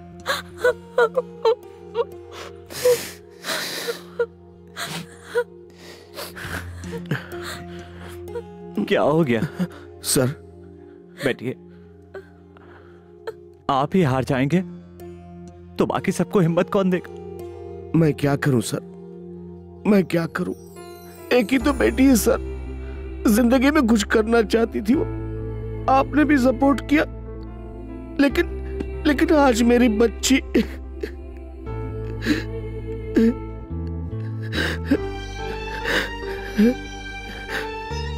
सर, हम तो उसके सगे माँ बाप हैं। ये लड़की बिना कोई रिश्ते कितने लोगों की मदद कर रही है, सर? वहाँ देखिए, सर। सर, ये लोग सड़क पर पैसे दे दो, खाना दे दो, पानी दे दो, कह के भीख मांगते हैं, सर। लेकिन मेरी बेटी तो हम सभी से बड़ी हो गई सर। आँखें दान करने की बात करती सर। आँखें दान करने की। सर मैंने उसको सपोर्ट नहीं किया। मैं बहुत बुरा इंसान हूँ सर। लेकिन वो तो अच्छी लड़की है ना सर। उसके साथ किस लिए हुआ ऐसा सर हिम्मत से काम लीजिए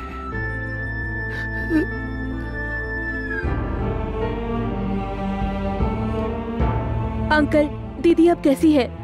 उन्हें कुछ होगा तो नहीं ना? और वो मिस इंडिया बन जाएगी ना?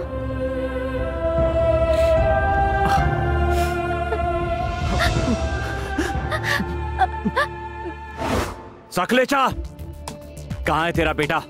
शिल्पा नाम की लड़की पर तेजाब फेंकर गायब हो गया है। इम्पॉसिबल मेरा बेटा तो शहर में है ही नहीं। रोशनी में घर से निकल जाना अंधेरे में फिर से घर पर लौट कर आना ये अपराधियों की कॉमन बीमारी है। तेरे बेटे की गंदी करतूत को अगर तेरा वकील झूठा साबित करने की कोशिश करेगा ना तो सच्चाई को मैं साबित कर दूँगा। दैट इज़ पुलिस डिपार्टमेंट मेरी एक बात कान खोल कर सुन लो। बच्चे इज़्ज़त उछालते हैं और इज़्ज़त उछालने वाला तेरा बेटा भाग जाने या छुपने की कोशिश करेगा तो मैं उसे ढूंढकर रास्ते पे कुत्ते की तरह मारूँगा। पकड़ा गया तो कानून उसे मारेगा। लेकिन उसका मारा जाना तो तय है। अभी तक मैं चुप बैठा था। अब बोलता हूँ, सुन लो। अपने बेटे को बचाने के लिए मैं कुछ भी कर सकता हूँ। इसी को तो मैं असली मर्दों वाला चैलेंज कहता हूँ। अब तू जितने वकील बुला सकता है, बुला ले। मैं पुलिस डिपार्टमेंट को बुलाऊँगा। एक बात तो तय है, अपनी इस जंग में तेरी मर्द होने की गलत फहमी अगर दूर न कर दी तो मेरा नाम शंकर शंकर पांडे नहीं है। अगर तू क्रिमिनल्स को बचाने वाला ठेकेदार और उनका बाप कहलाता है तो मैं उन्हें मारने वाला हूँ। एक बाप की औलाद। अनिल अस्पताल में शिल्पा के स्टेटमेंट लेकर पक्का एफआईआर दर्ज करो। केस को स्ट्रॉन्ग बना दो। समझ गए ना?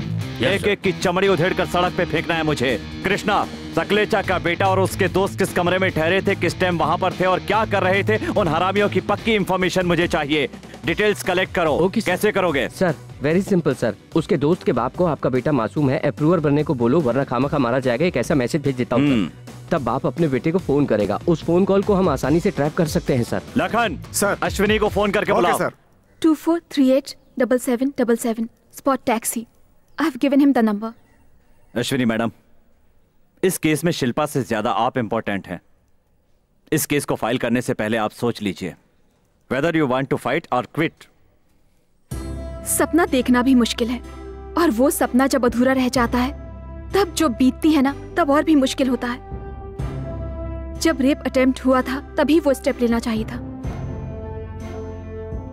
कहाँ गई थी? सकलेचा के बेटे के खिलाफ कंप्लेन लिखवाने पुलिस स्टेशन गई थी।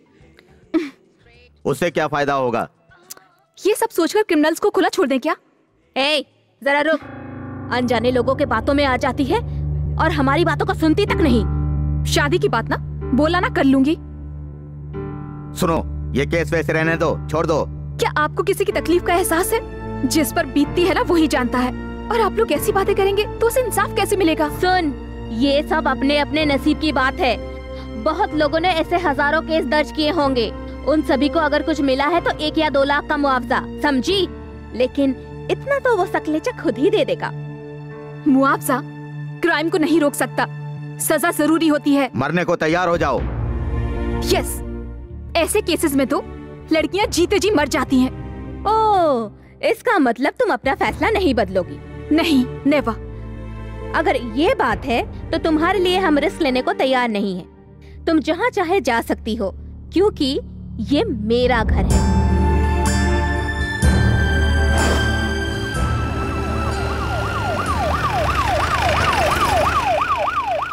इसीलिए कह रहा हूँ। अभी भी वक्त है। फिर से सोचो क्या करना चाहती हो? एकदम मिडिल क्लास मेंटालिटी मौत और इज़्ज़त दोनों से डरकर ही जीते हैं लोग। If you don't mind you can come with me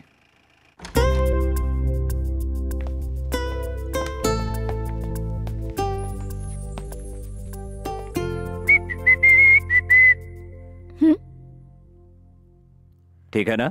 it's nice hello मैंने घर के बारे में नहीं पूछा। साथ रहने की बात पूछी है इसलिए कि मीडिया वाले ऐसी कहानियाँ ढूंढते रहते हैं। बढ़िया प्रोग्राम बना के धांसू टाइटल दे देते हैं। फैसला आपको ही करना है। एमएनसी कंपनी वाले लिविंग रिलेशन के नाम पे साथ में रहते ही हैं। व्हाट्स रॉन्ग इन इट ऐसी वैसी बातें तो होती रहेंगी। बी केयरफुल फ़िलहाल यही कॉस्ट्यूम है मेरे पास। इसी से काम चलाना पड़ेगा। हम्म, अच्छा है। शुक्र है कि शर्ट नहीं दी मुझे। लगता है साउथ की फ़िल्में बहुत देखती हो। उसमें हीरोइनें ऐसी होती हैं। अगर उनका बस चले तो एक ही शर्ट में पूरी फ़िल्म निकाल दें।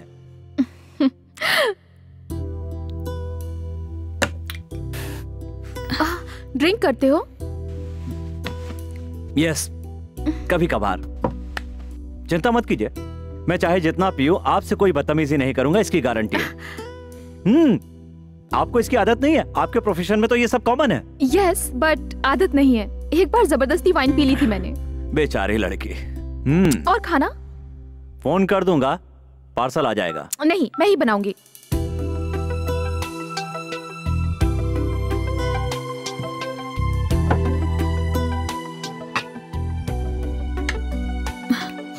आप शंकर आप किसी ब्रोकर को जानते हैं तो मुझे किराए पर एक घर चाहिए था। हम्म, शक करती हो मुझ पे। ठीक है सुबह बात करूँगा। आप ऐसा क्यों कह रहे हैं? मुझे आप पर कोई शक नहीं। खामो खा मेरा खर्चा बाहर कितनी भी शेरनी बने। रात को सोते समय याद आ ही जाता है कि वो एक औरत है। यही तो है। लड़की में यही मुझे सबसे अच्छा लगता है मैडम। फ़ैन ज़ोर से चला लीजिए और ये कंबल ओढ़कर आराम से सो जाइए बिंदास। कल सुबह सोचेंगे ब्रोकर के बारे में।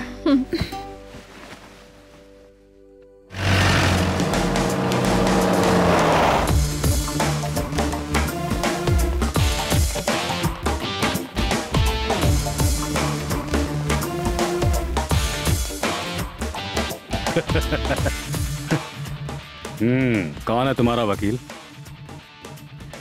बी कॉम एल एल मैं खुद केस लड़ सकता हूँ। क्रिकेट सीखकर फुटबॉल ग्राउंड में आ गए। दोनों जगह गेंद ही होती है। वहाँ पे गेंद को बैट से मारते हैं और यहाँ पर मैं लात मारने वाला हूँ। और जब मैं किसी को लात मारता हूँ तो गोल में नहीं जाता। जेल पहुँच जाता है। Keep it up keep it up चलो। नमस्ते हुजूर। नाम है शिल्पा उम्र है 19 साल। बीएससी डिग्री कर रही हो। आपको मिस इंडिया कॉन्टेस्ट में हिस्सा लेना था पर ले नहीं सकी। और उसकी वजह यह है गोवर्धन सकलेचा। वजह उसे बता रही हो। कैसे? मेरे चेहरे पर एसिड फेंकने वाला यही है। सच कह रही हो? हम्म।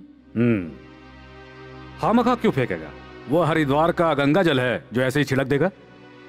तुम दोनों के बीच में किसी तरह का अनबन झगड़ा हरासमेंट ऐसा कुछ हुआ था क्या? जी हाँ। अ, क्या हुआ था बेटा? ओ स्विच यहाँ है। अरे कह दो भाई लाइट हम भी देख लें। इन्होंने मुझ पर हाँ। रेप अटेम्प्ट किया था। किया था? किस किसने किया था? इसने और इसके दो दोस्तों ने। तो इन तीनों में से किसी ने भी तेजाब फेंका हो सकता है हाँ? चलिए इसके बारे में हम बाद में बात करेंगे। रेप अटेम्प्ट करते वक्त आपने कैसे कपड़े पहने थे? उन्होंने क्या पहना हुआ था? आपके ऊपर कौन से कपड़े थे? आपको कहाँ कहाँ हाथ लगाया? ये सब कुछ नहीं पूछूँगा। रेप अटेम्प्ट होने के बाद पुलिस स्टेशन में कंप्लेंट हुआ क्या? केस फ़ाइल किया क्या? हाँ? ओ, नहीं किया। इसका मतलब आपकी इज़्ज़त का कोई मोल नहीं है। उस दिन आप ही ने तो वहाँ पर कॉम्प्रोमाइज करवाया था। मतलब कुछ पैसों के लिए आप अपनी इज़्ज़त दाव पे लगा देंगे? कम ऑन हाँ हाँ हाँ हाँ आपको मिस इंडिया कॉन्टेस्ट में जाने के लिए फाइनेंशियल हेल्प चाहिए थी है ना? हेलो है ना? जी हाँ। हाँ जरा ज़ोर से बोलो बेटा अकेले मुझे नहीं जज आपको भी सुनना है ज़ोर से बोलो। जी हाँ। ऑब्जेक्शन योर ऑनर वो किस लिए? वकील साहब इस केस को छोड़कर कुछ और ही बातें कर रहे हैं। इनको अपने चरित्र की परवाह नहीं है क्या? है ना? इसीलिए history of the case history of the character यह सब ज़रूरी होता है। सो so, प्यार का नाटक किया खूब सारे पैसे थे लड़की अगर वर्जिन नहीं होगी तो मतलब अगर वो कुंवारी नहीं है तो मिस इंडिया में कम्पीट नहीं कर सकती। ये बात मैंने तुमसे कही थी है ना? जी हाँ। हाँ हाँ। ये बात अगर बाहर आई तो तुम्हारी इज़्ज़त चली जाएगी। मैंने समझाया और कॉम्प्रोमाइज भी करवाया। लेकिन इसको तो पैसों की लालच है। कल अगर दुनिया को पता चलेगा कि ये वर्जिन नहीं है तो इसकी इज़्ज़त नहीं रहेगी। इसीलिए एसिड अटैक का नाटक कर रही है। इसीलिए इस गोवर्धन सकलेचा जी को बलि का बकरा बना के झूठा इल्ज़ाम लगा के अदालत खींच के लाई है। है ना? नो ये सब झूठ है। तो फिर सच क्या है बता दो। मुझ पर एसिड इसी ने फेंका है और इसकी गवाह है मेरी ट्रेनर अश्विनी। नाम है Ashwini age twenty four I am trainer पैसे इतना भी ट्रेन करती हो? मॉडल ट्रेनर रहती कहाँ हो? पहले मैं मॉम डैड के साथ थी। अब मैं एसीपी शंकर पांडे के साथ रहती हूँ। हम्म तो आप दोनों की शादी कब हुई थी? शादी नहीं हुई है। आज के जनरेशन हद से ज़्यादा फास्ट है हुजूर।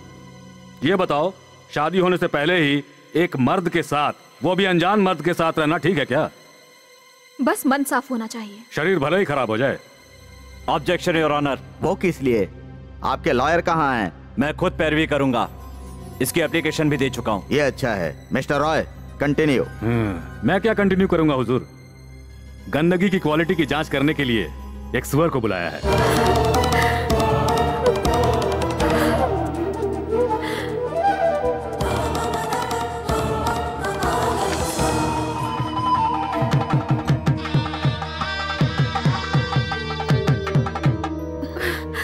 ये सब किस लिए?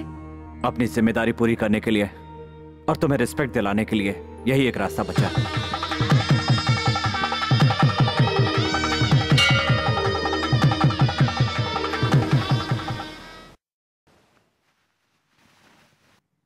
अरे रे रे रे रे ए ये सब क्या है? हाँ? साड़ी पहनती नहीं हो या पसंद नहीं है? लगता है पैंट सुखाने के लिए रखा है। जरा ऐसे घूमो। अंदर जाओ। साड़ी पहन के आओ। ये अच्छा है तुम लोगों का। लड़कियाँ बदन दिखाने वाले कपड़े पहने तो देख के एंजॉय करते हैं। लेकिन अपनी बीवी को कोई नहीं देखे, ये सोचकर साड़ी में लपेटते हैं। सच में, ये सारे के सारे मर्द ना, शादी होने के बाद हमारा बच्चा दूसरों की बीवी। सबसे अच्छी राइट हम्म हमारा बच्चा दूसरों की बीवी। ए बड़ी बड़ी बातें करने लगे तो? तुम लोग भी कहाँ किसी से कम हो? शादी होने से पहले कहती हो कि मेरा पति बहुत ही मर्दाना हो। वहीं सड़क पे चलते वक्त ये भी चाहती हो कि तुम्हारा पति मर्दानगी छुपा कर रखे। तुम औरतें भी कब रंग बदलोगी भगवान भी नहीं समझ पाया आज तक। तुम लोग तो मौका ढूंढते रहते मौका मिले तो कोई छोड़ता है क्या? हाथ पर हाथ धरे बैठे रहे। अरे धर तो आ।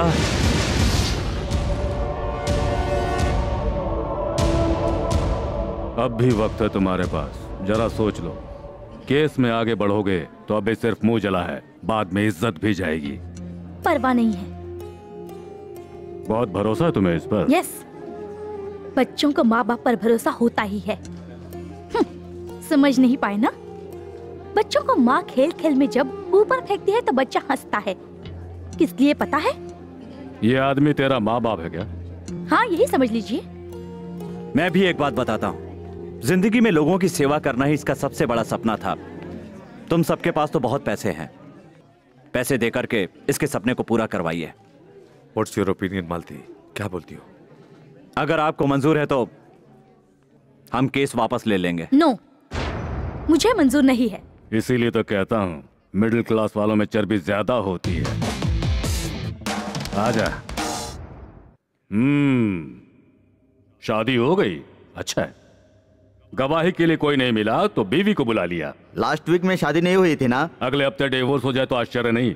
ओके ये एसिड अटैक जब हुआ वहाँ कौन कौन थे? मैं थी शिल्पा और टैक्सी ड्राइवर हम्म छुड़ाने की आपने कोशिश नहीं की? कोशिश की थी मगर ड्राइवर घबरा के भाग गया। ओ सेफ़ बना दिया। आप झांसी की रानी चित्तौड़ की रानी के देश की है ना? आपने प्रूव कर दिया हम्म? हम्म बताओ तुम जब छुड़ाने गई थी तुम्हारे बदन पे कुछ नहीं गिरा। उसके चेहरे पर बस जरा सा मेकअप किया हुआ वैसा घाव हुआ है ना? आप ही ने किया होगा। नो हुजूर एसिड फेंकने वाले का हाथ जले ये तो नामुमकिन है। यहाँ मेरे मुवक्किल के हाथ में जलने का निशान है। सो ये सब कुछ इन्हीं का किया धरा है ऐसा मुझे लगता है। नो यस किसी को पता ना चले कि वो कुंवारी नहीं है और मिस इंडिया कंटेस्ट छूट जाने के बाद लोगों की सिंपैथी मिलनी चाहिए। सकलेचा परिवार से पैसे हटने हैं यही इनका मंशा था। नो योर ऑनर नो लीजिए। लीजिए ना। पूछ लीजिए। देखिए मुझे औरतों को रुलाने में दिलचस्पी नहीं है। मगर ये जो सच है ना ट्रुथ वो बहुत ही कड़वा होता है। जाइए। हो गया जाइए आप। उस ड्राइवर को बुलाना चाहूँगा हुजूर। इजाज़त है। हम्म। कितने सालों से ड्राइविंग कर रहे हो तुम? चार सालों से साथ ड्राइविंग करते समय सिगरेट पीना पान परा खाना शराब पीना स्टाइलिश गॉगल्स पहनना ऐसी कोई आदत ऐसी है? कोई आदत नहीं है सर। नहीं है? नहीं सर। वेरी गुड कंडक्ट सब लोग आपकी तरह हो तो ट्रैफ़िक पुलिस को काम और आमदनी दोनों कम हो जाएगी। अच्छा ये बताओ अपने काम के दौरान कितने लोगों से पहचान हुई और कितने लोगों को पहचान सकते हो? ऐसा स्पेशल कस्टमर तो कोई नहीं है सर। कोई नहीं नहीं है? सर। और उस दिन ये सकलेचा साहब ने कौन से कपड़े पहने थे? ब्लू जींस और हाँ ब्लू। जींस टी शर्ट और ब्लैक जैकेट याद करो। टोपी चश्मा हाँ, यकीन से कह रहे हो ना? जी सर। झूठ बोल रहे हो। तुम्हें आई साइट की समस्या है। इसके रिपोर्ट सब मेरे पास है। हाँ हुजूर आला ये आदमी किसी को पहचान नहीं सकता। आँखें भी ठीक नहीं है। और ऐसे में उस दिन सकलेचा था यकीन से कैसे कहते हो? तुम्हारे कहने के मुताबिक जून 14 की रात को गोवर्धन सकलेचा बेंगलोर आया था यह नामुमकिन है। इसलिए कि उस दिन ये ऊटी के कोनार्क होटल में ठहरे थे। रात को साढ़े आठ बजे मतलब इस वाक्य के ठीक डेढ़ घंटे पहले लैंडलाइन से अपने घर पर फ़ोन किया था और उसके डिटेल्स और बिल्स वगैरह यहाँ पे क्या कोई डेढ़ घंटे में वहाँ से बेंगलोर आ सकता है क्या?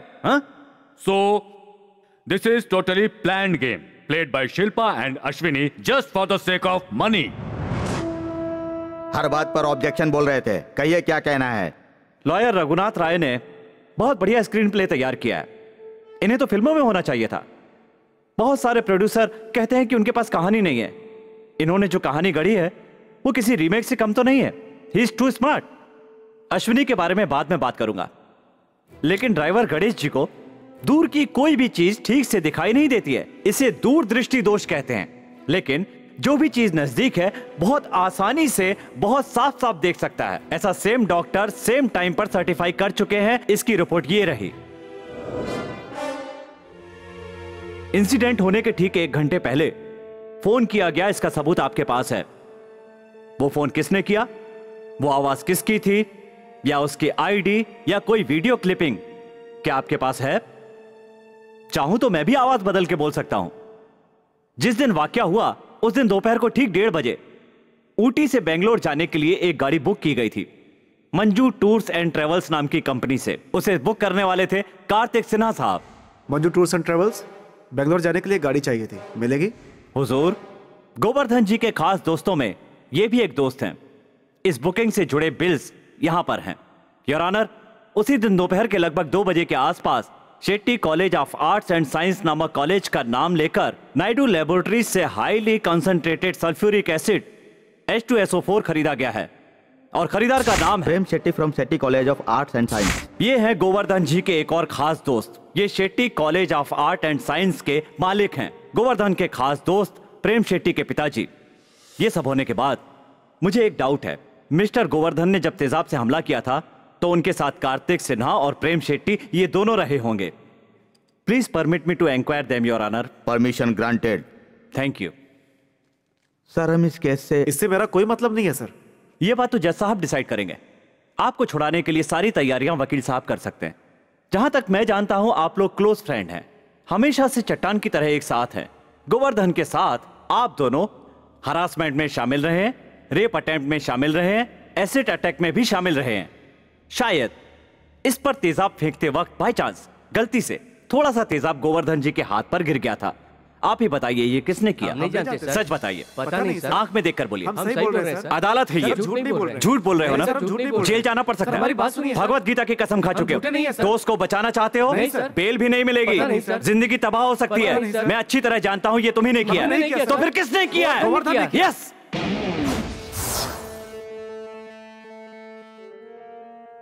गोवर्धन ने किया है। मैं आपसे माफ़ी चाहूँगा हुजूर। सच का पर्दाफाश करने के लिए दूसरा कोई रास्ता नहीं था।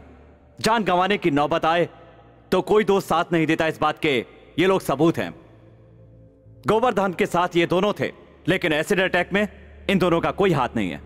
ऑब्जेक्शन ऑब्जेक्शन हुजूर। वो किस लिए? हुजूर ये लड़के मासूम है और वो वर्दी में है। लड़कों को डरा के इमोशनल ब्लैकमेल करेंगे तो उनकी कत्ती सच नहीं होगी हुजूर। क्यों नहीं सर? अश्विनी ने एसिड फेंका है और वो गोवर्धन के हाथ पे गिरा है ऐसा कहा था ना? तो फिर गोवर्धन बेंगलोर में मौजूद था? आ, आ, आया होगा लेकिन बेंगलोर आया तो इसका मतलब एसिड डालने के लिए नहीं। मैंने ऐसा तो नहीं कहा। पहले आप ही ने कहा था आया होगा ज़रूर आया है। आपको दो दिन टाइम मिला तो आप शायद मान जाएँगे कि उसी ने गुनाह किया। मिस्टर रॉय आप कुछ पूछना चाहते हैं? अ, आपसे बात कर रहे हैं मिस्टर रॉय। हुजूर कुछ पूछ रहे हैं। आप कुछ पूछना चाहते हैं कि नहीं? हुजूर मैं और भी विटनेस पेश करना चाहता हूँ। उसके लिए थोड़ा वक्त माँगता हूँ हुजूर। इस केस की अगली सुनवाई सत्रह तारीख को होगी।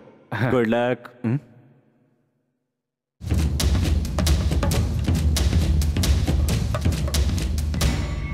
बहता हुआ पसीना ये छूटती हुई साँसें तुम्हारे चेहरे पर हार का डर साफ़ झलक रहा है। जब रघुनाथ राय केस लेता है तो जजमेंट मुझसे पहले लिखवा के आर्ग्यूमेंट बाद में सुनते रहते हैं सारे जजेस हम्म हम्म, तो फिर बीच में ही क्यों रोक दिया? छोटी मोटी रुकावटें तो महाभारत के युद्ध में भी आई थी अगली रणनीति बनाने के लिए। एक कमीना इंसान और कर भी कह सकता है? दूध के धुले हो क्या? है? किसी के दबाव में इन्फ्लुएंस में असली मुजरिमों को छोड़ देते हो इनोसेंट्स को पकड़ के उन्हें गुंडा बताते हो। असली मुजरिम तो तुम हो। स्लम में कोई मामूली झगड़ा हो जाए तो हीरो की तरह घुसते हो। वही रईसों के इलाकों में कुछ हुआ तो कुत्तों की तरह दुम दबा के भागते हो। लाख रुपए से शुरू करके हज़ार में सेटलमेंट कर लेते हो। इसीलिए हाल में एक पिछले सीएम ने मीडिया में पुलिस डिपार्टमेंट को डिपार्टमेंट बोला था। बोला होगा। और वो कर भी कह सकते हैं? मुजरिम अगर तुम्हें पैसे देता है तो अपना ईमान ताक पर रखकर उसे छुड़ा लेते हो। एक तरफ़ तो अपने काम को धर्म बताते हो और दूसरी तरफ़ देशद्रोहियों को छुड़वाने में कोई कसर नहीं छोड़ते। कौन कहता है कि पुलिस डिपार्टमेंट नहीं चाहिए? बुलाओ उसको यहाँ। अगर हम लोग एक हफ़्ता चुपचाप बैठ जाए ना तो तुम्हारे घर की औरतें जहर खाकर या फांसी लगाकर लटकती मिलेंगी। घर के मर्द सड़क पे अनाथ बनकर पड़े होंगे। तब समझोगे कि पुलिस डिपार्टमेंट क्या होता है। पुलिस और फौज में भर्ती होने के लिए मर्द होने का सर्टिफिकेट काफ़ी नहीं है। मर्दानगी की एक्स्ट्रा क्वालिटी भी होनी चाहिए। वो होगी तभी डिपार्टमेंट में शामिल हो सकते हो। ये कपड़े पहनकर जी सकते हो। माइंड डेट तुम हो तो पुलिस डिपार्टमेंट में। करते हो इन्फ्लुएंस लोगों के लिए दलाली का काम।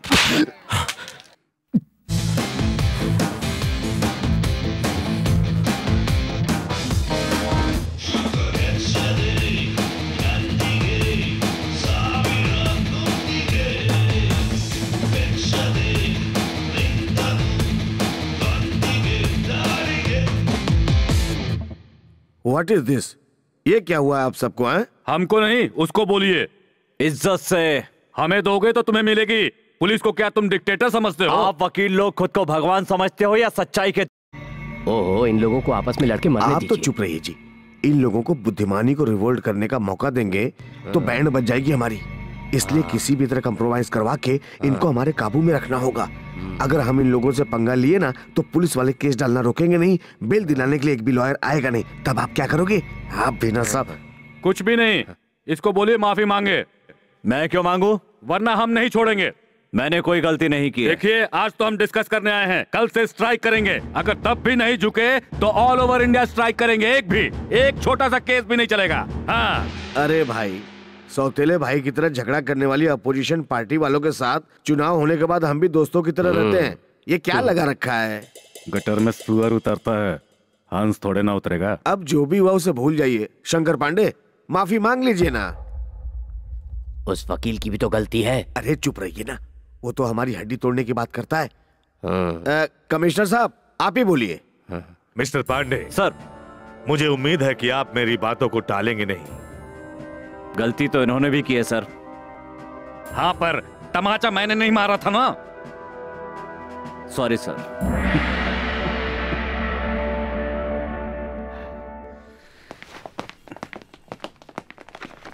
सर पुलिस ने आपको मारा था। उसका क्या हुआ? माफ़ी मांग ली। वो तो ठीक है मगर उन्होंने मारा क्यों? जिसमें दम नहीं होता वो ऐसा करता है। कहावत है ना हाथ से बात करना गलत है। हैं, पुलिस मारे तो आवाज़ आती है लेकिन भगवान और वकील ने मारा तो आवाज़ नहीं आती। वो दर्द सहन भी नहीं होती। ये सच उसे पता चल चुका है। पुलिस वाले बुलशिट सर हम लोग भी स्ट्राइक करेंगे। हम में और उनमें कुछ तो फ़र्क है ना। बेवकूफ़ लोग स्ट्राइक करते हैं। और बुद्धिमान जिम्मेदारियाँ समझते हैं। उस दिन तक मेरे और आपके बीच कानूनी जंग छिड़ी हुई थी। वो हमारी जाती लड़ाई बन चुकी है। कोर्ट में उसके आर्गुमेंट सुनता हूँ तो आपकी हार के साथ ही मेरे बेटे की मौत भी निश्चित लग रही है। नो। no, इस रॉय के क्लाइंट को बचाने के लिए आईपीसी सेक्शन की लूप होल्स की ज़रूरत नहीं। इस लॉ बुक में जहाँ कीड़े ने काटा है ये दरार काफ़ी है। फिर भी गवाही देने वाला का मुँह बंद करके इंसाफ के लिए लड़ रही इंसाफ की देवी की तरह उनकी भी आँखें बंद करवा ली। मतलब? कत्ल? हरगिज नहीं। हम्म देखिए एक ही बेटा है। अब आपके बच्चे तो नहीं होंगे ना?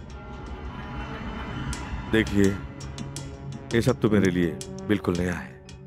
चाहिए तो फ़ीस के नाम पर I will give you some amount आगे आप ही संभालिए। इसीलिए तो मैं कहता हूँ रईसों में मर्दानगी नहीं होती।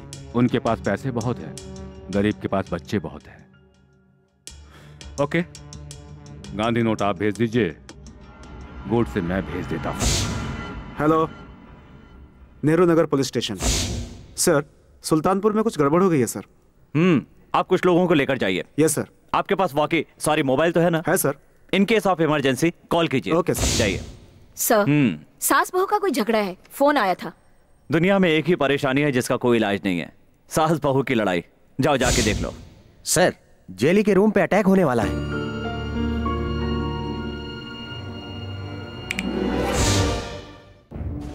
देखो बेटे ज़िंदगी का मतलब औरत शराब मज़ा ये सब कुछ नहीं है। हाँ सर पैदा हुए हो तो कुछ करके दिखाओ। ठीक है सर माँ बाप का नाम रोशन करो। ठीक है सर समझ गए ना? हाँ सर। गुड हाँ। ए फोर ज़ीरो सेवन छोड़ दो इस लड़के को। सर। हाँ बोलो सुरेंद्र नाथ। सर। घर की हालत कैसी है? जजमेंट आने तक तो थोड़ा टेंशन रहेगा सर। ऐसे समय में आपको घर पर ही रहना चाहिए था। जब सामने हार नज़र आने लगे तो दिल में जीत का जोश दोगुना कर लेना चाहिए। जी हाँ सर। जाइए घर जाइए। जाइए ना। सर लेकिन यहाँ मैं हूँ ना यहाँ। घर आया मेरा परदेसी। ओ तो आ गए आप लोग। आपका ही इंतज़ार था। कुछ पैसे दोगे तो शहर के गली गली में ऐसे खिलौने मिल जाते हैं कुत्तों।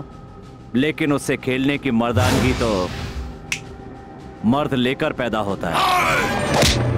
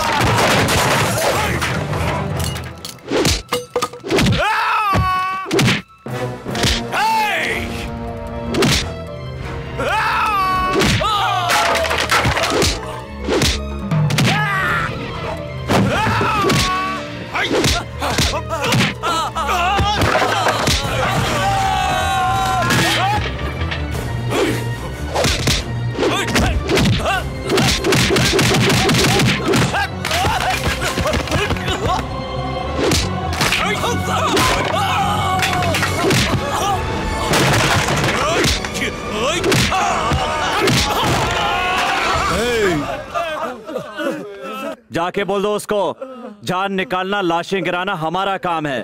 अगर दोबारा मेरे रास्ते में आया ना तो उसके घर पर जाकर मारूँगा, घर के अंदर मारूँगा, कोर्ट के बाहर मारूँगा, सिर फिर गया तो कोर्ट के अंदर भी मारूँगा। जज चाहे ऑर्डर ऑर्डर बोलता रहेगा, लेकिन मैं उसको मारता रहूँगा। जाके बोल दो उसको, आज रात उसके सपने में भी आऊँगा। जाओ, बोल दो।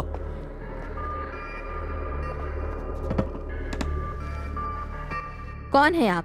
क्या है ये? इसमें पाँच लाख है। अदालत में सकलेचा के बेटे के खिलाफ गवाही नहीं देनी है ओके? पाँच दिन हो गए मिस्टर रॉय। कंटिन्यू कीजिए। हमारे एसीपी साहब ने बताया है फ़ोन कॉल में एक टाइम होता है पर इनवॉइस नहीं होता। उसी तरह कार बुक करते समय इनवॉइस होता है। अपना आईडी कार्ड छोड़ के गया था क्या? या फिर तेजाब खरीदने वाला फ़ोटो देकर गया था? कार्तिक सुवर्णा और प्रेम शेट्टी दोनों से जो बयान लिया गया है इट्स प्योरली इमोशनल ब्लैकमेल इसका सबूत यहाँ पे। है चुपचाप अप्रूवर बन जाओ। उस लड़के से दूर रहो कहकर कार्तिक के घर पे पुलिस स्टेशन से धमकी आई है। और इसका क्लैरिफिकेशन तो उसके पिता ही देंगे। हाँ हुजूर। कृष्णा ने फ़ोन करके हमें धमकाया था। हुजूर अश्विनी के बारे में कहूँगा। उसका रहना है ग्लैमरस फ़ील्ड में। वहाँ पे पैसे शराब सेक्स इन सब का कोई मतलब नहीं है। बिंदास होकर बिंदास बोलने से बेहतर खुलेआम जीने की आस रखने वाली कैरेक्टरलेस लड़की। ये बात मैं नहीं कहता। इसके माता पिता कहते हैं। हाँ हुजूर। कहते थे कि रहन सहन सुधारो पर मानी नहीं। पूछने पर फ़ैशन का बहाना बनाती थी। कहते थे कि यंग जनरेशन है। हुजूर इज़्ज़त बचाने के लिए लोगों के पास कपड़े नहीं हैं। अपना शरीर ढकने की कुछ लोगों की नीयत नहीं है। ये लोग समाज पे धब्बा है। सो गलत संगत से सन्यासी भी बिगड़ते हैं। शिल्पा इसकी संगत में बिगड़ गई।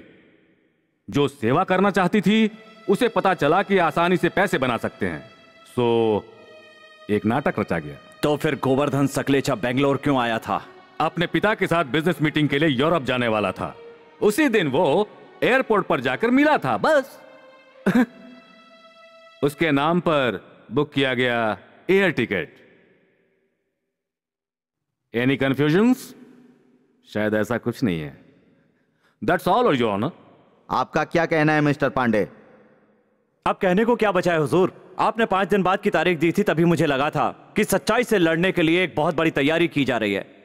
लेकिन यहाँ आने पर पता चला, पुराने गवाहों को रास्ते से हटाकर नए गवाह तैयार किए जा रहे हैं। आप इसी तरह नई तारीख देते रहेंगे तो इंसाफ के लिए लड़ने वाले गरीब इसी अदालत के सामने तड़प तड़प कर मर जाएँगे। फ़ाइल पर तारीख पड़ती है, केस लड़ा जाता है, इंसाफ की देवी बस बिलखती रह जाती है। आपसे हाथ जोड़ के गुजारिश करता हूँ। आप आगे की तारीख मत दीजिए। भले ही हमें इंसाफ ना मिले, कम से कम इस तरह भटकना तो नहीं पड़ेगा। पांडे साहब ने मुझे बहुत ही बढ़िया स्क्रीन प्ले लिखने वाला बताया था। अब आपने बनाया है sentimental emotional screenplay court को तो चाहिए गवाह विटनेस गॉट इट सारे गवाहों और सबूतों के बिना पर गोवर्धन सकलेचा और उसके दोस्तों पर लगे सारे इल्ज़ाम में कोई सच्चाई नहीं है, यह साबित हुआ है। लिहाजा मुलजिमों को बेकसूर ठहराते हुए उन्हें इसी वक्त रिहा करने का आदेश ये अदालत देती है। और मिस शिल्पा के चेहरे पर घाव हो जाने की वजह से उसका सपना पूरा नहीं हो सका। उसके लिए यह अदालत खेत प्रकट करती है और असली अपराधियों का पता लगाने के लिए पुलिस विभाग को सख्त कदम उठाने का आदेश देती है।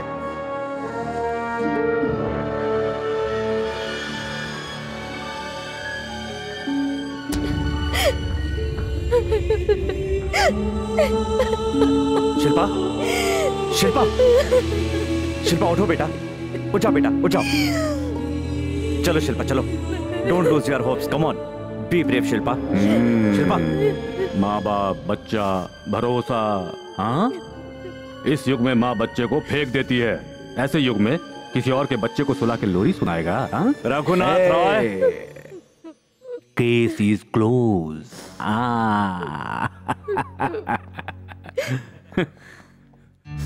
आओ बेटा यहाँ पर बैठो। हिम्मत मत हारो। We have high court supreme court भी है। We will fight we will fight नहीं लड़ना है मुझे सर बस हो गई है ड्रामेबाजी। लोग आते हैं भगवत गीता पर हाथ रखते हैं। और कहते हैं कि सच ही बोलूँगा। अगर उसके बाद कहते हैं कि उस दिन तो उस दिन झूठ बोला था आज सच बोलूँगा। किस पर यकीन करूँ?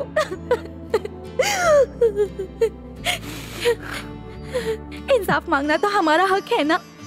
और ऐसे में सच्चाई की राह पर चलना उनकी ड्यूटी है ना? अच्छा आप भी कह रहे हैं ना, सर?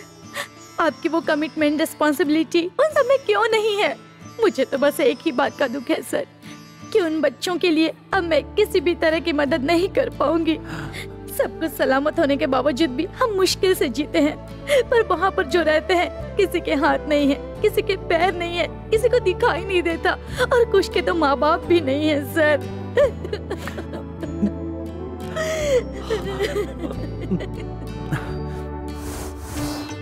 महात्मा गांधी जी, जब आप जीवित थे तो आपने दुनिया को समानता का नारा दिया था, लेकिन मरने के बाद आप भी एक समान नहीं दिखाई देते।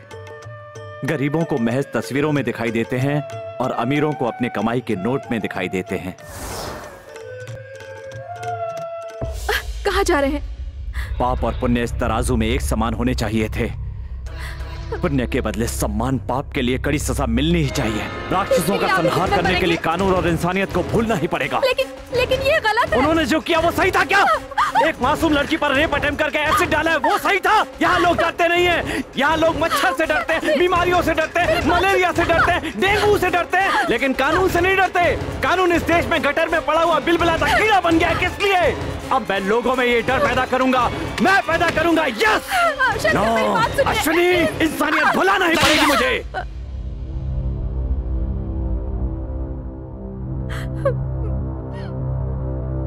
क्यों मारा? क्यों मारा मुझे? क्या करती? कितनी बार रोका आपको मैंने? कितने सालों से उन्हें रोकने की कोशिश कर रहा हूँ। सोचो उन्हें कैसे मारूँगा मैं।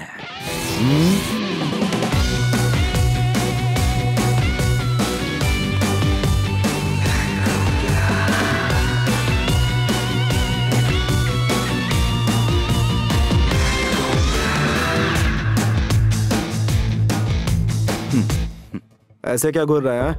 क्या तू अपने ही बाप की औलाद है? किसी भी एंगल से तू एक बाप का तो लगता नहीं है। जब तू पैदा हुआ था तो तेरा बाप बिज़नेस में बिज़ी होने के कारण घर नहीं आता था। ये बात सच है क्या? देखो बहुत हुआ। अच्छा नहीं होगा। ये सच है कि तुझे बचाने के लिए तेरा बाप इंसानियत भूल गया पर he is a very good clean businessman बहुत ही अच्छा इंसान है। तुझे देखकर लगता है तू किसी घटिया इंसान का बेटा है।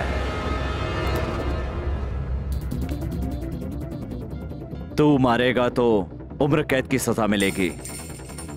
और मैंने मारा तो सिर्फ़ पंद्रह दिन के लिए सस्पेंड होऊँगा। सर हमने कुछ और किया कितनी लड़कियों का रेप करना चाहते हो और कितनी लड़कियों पर तेजाब फेंकना चाहते हो? तो ये बात अदालत में बोलोगे।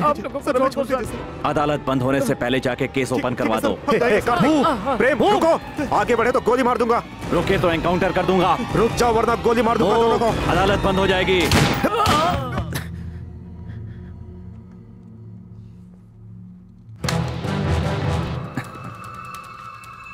यही तो मैं चाहता था बेटे। अप्रूवर को तुमने गोली मार दी है। मैं आया तुम्हें अरेस्ट करने के लिए। तूने पुलिस ऑफिसर को ही शूट करने की कोशिश की है। और मैं सेल्फ डिफेंस के लिए अभी तेरा एनकाउंटर कर दूँगा। देखो देखो ऐसा नहीं करना। Hold the gun come on hold the gun I say sir shoot कर दो कमीने को। रुक जाओ मेरे डैडी तुम्हें छोड़ेंगे नहीं। आज शहर में तेजाब फेंककर औरतों का जीना हराम करने वाले यही लोग हैं। एक भी साला बचना नहीं चाहिए। तुम्हें जितने पैसे चाहिए मैं दूँगा। अभी लाके दूँगा। न जाने कितनी औरतों का इन जैसों ने बलात्कार करके उन पर तेजाब फेंक कर मार डाला है। न जाने कितने माँ बाप अपने बच्चों को गवा कर इंसाफ के लिए दर दर भटक रहे हैं इनकी वजह से। ये ज़िंदा रहेंगे तो न जाने कितनी औरतों का जीवन नरक बन जाएगा। शूट मैन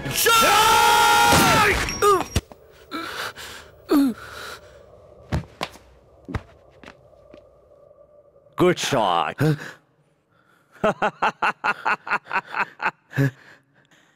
आप जैसे लोगों को स्टेशन के बाहर नहीं होना चाहिए। हर एक के घर में होना चाहिए।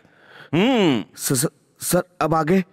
Shankar Pandey is ready for inquiry commission this is too bad mister Pandey एक रिस्पॉन्सिबल पुलिस ऑफिसर ने उसे मार डाला। नहीं मारता तो मुझे शमशान भेजकर फ़ोटो पे हाथ डाल के फैमिली को कंपनसेशन दिलवा देता sir. No no it's totally your brain game. No sir उन तीनों दोस्तों के बीच में झगड़ा हुआ था पुलिस स्टेशन फ़ोन करके कंप्लेंट की थी उसकी फ़ाइल मैं आपके सामने पेश कर चुका हूँ।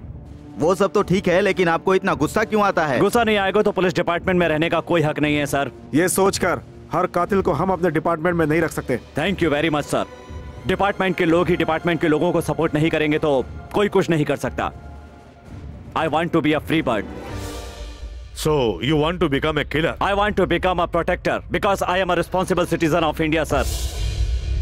उस दिन आपने कहा था कि पैसे वाले ही देश को चलाते हैं। आपकी बात भी सच निकली सर लेकिन ये भी पता चला कि उसी देश में एक पुलिस डिपार्टमेंट भी है जो अच्छी जगह ट्रांसफ़र करवाने के लिए सिफारिश के लिए प्रमोशन के लिए या किसी ऑर्गेनाइजेशन के लिए समझौता करता है। अपनी जिम्मेदारियाँ भूल जाता है। इसलिए लोग उस पर विश्वास नहीं करते। लोगों को अच्छी तरह पता है कि कहीं भी फसाद या स्ट्राइक हुई तो हम वहाँ पर पहरा देते हैं। जब सब लोग त्योहार, छुट्टियाँ न्यू ईयर मनाते रहते हैं तो पुलिस वाले अपनी डबल ड्यूटी करते रहते हैं। कोई बड़ा नेता अगर शाम को शहर में आता है तो हम सुबह से सड़क को ब्लॉक करके रास्ता ताकते रहते हैं पब्लिक को परेशान करते हैं। लोग हमें गालियाँ देते हैं, सर, पर उन्हें पता नहीं होता कि गलती हमारी नहीं है। किसी बड़े आदमी का फ़ोन आते ही खड़े होकर हँसते हँसते उनके सामने काम करने पड़ते हैं। और कभी कभी तो हमें बड़े लोगों के लिए भड़वागिरी भी करनी पड़ती है। क्यों चाहिए, सर, ऐसी गुलामी? उनकी हर बात सुन के मुस्कुराते हुए हिजड़ों की तरह ताली बजाने के लिए मेरे माँ बाप ने मुझे पैदा नहीं किया था, सर। शंकर पांडे नाम है मेरा। शंकर मतलब विनाश करने वाले भगवान। ये असली मर्द का नाम है। गुड बाय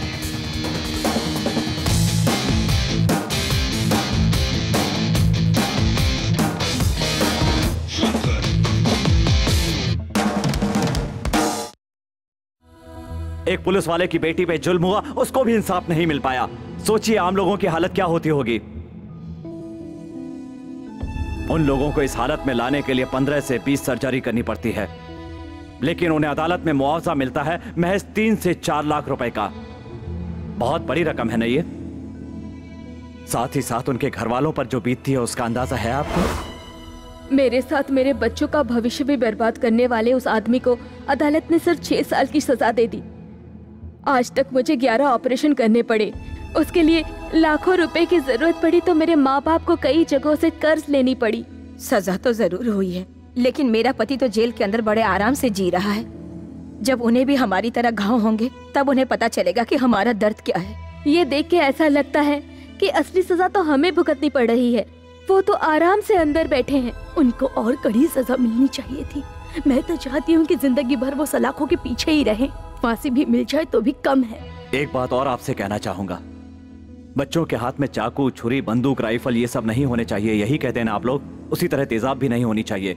ये तेजाब ऐसी चीज़ है जो कि ज़िंदगी को नरक बनाकर रख देती है।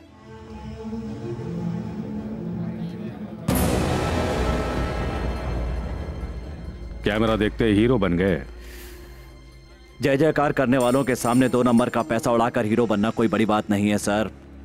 असली हीरो बनने के लिए मन साफ़ होना ज़रूरी है दिल मज़बूत होना चाहिए।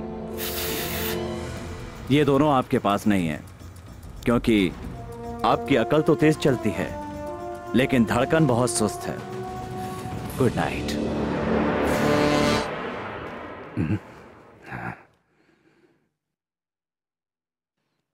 उन औरतों के केस के बारे में आपको इतनी चिंता क्यों है? बताता हूँ। मैं एक बहुत गरीब परिवार से हूँ। तुम तो बहुत पढ़ना लिखना चाहते हो। तुम्हें पढ़ाने के लिए हमारे पास पैसे कहाँ हैं? पढ़ना चाहता है बेटा। हम्म। अ, बड़े होके क्या बनोगे तुम? फ़ीस मैं दूँगा। चलोगे मैं क्या? नहीं जानता आप कौन है। आप क्यों फ़ीस भरोगे? मैं नहीं बेटा। तो कौन भरेगा?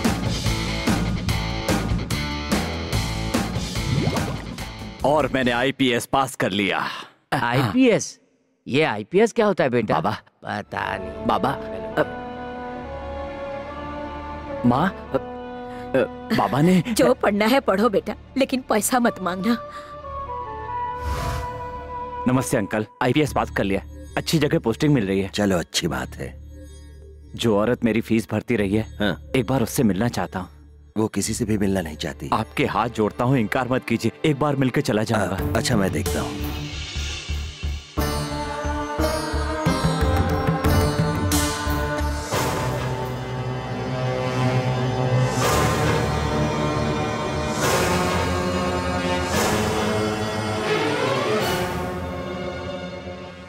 इसलिए मैं किसी से भी मिलना नहीं चाहती थी। आपकी ये हालत कैसे हुई?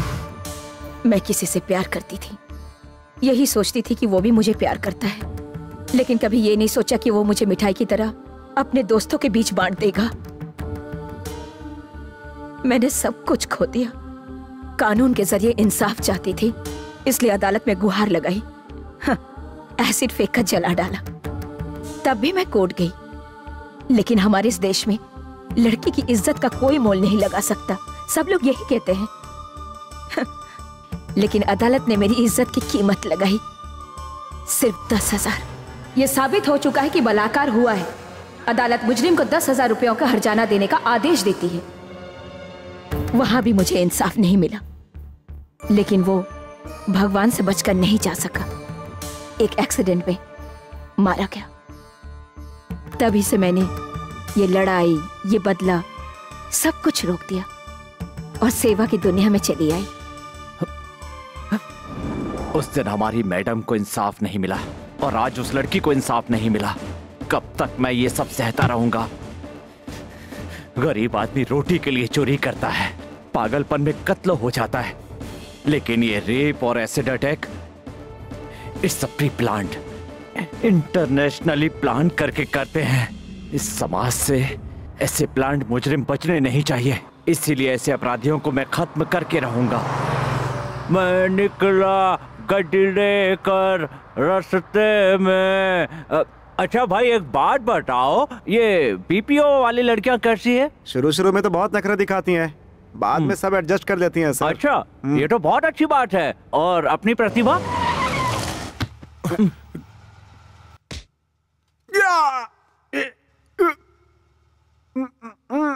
मरते समय हर कोई माफ़ी मांग लेता है, लेकिन तुम जैसों को मौत का खौफ दिखाना ही मेरा काम है।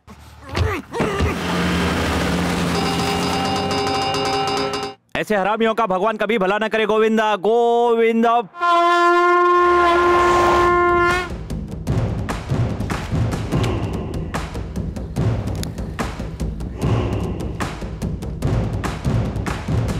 टूर पर आने वाली लड़कियाँ अपने पास मोबाइल न रखें। घर पर फ़ोन भी ना करें। अपना आता पता भी ना बताएँ। यही कहा था ना? सारे बच्चों की रक्षा करने वाला फादर बनाया आपको। आप तो मारने वाले हैवान बन गए।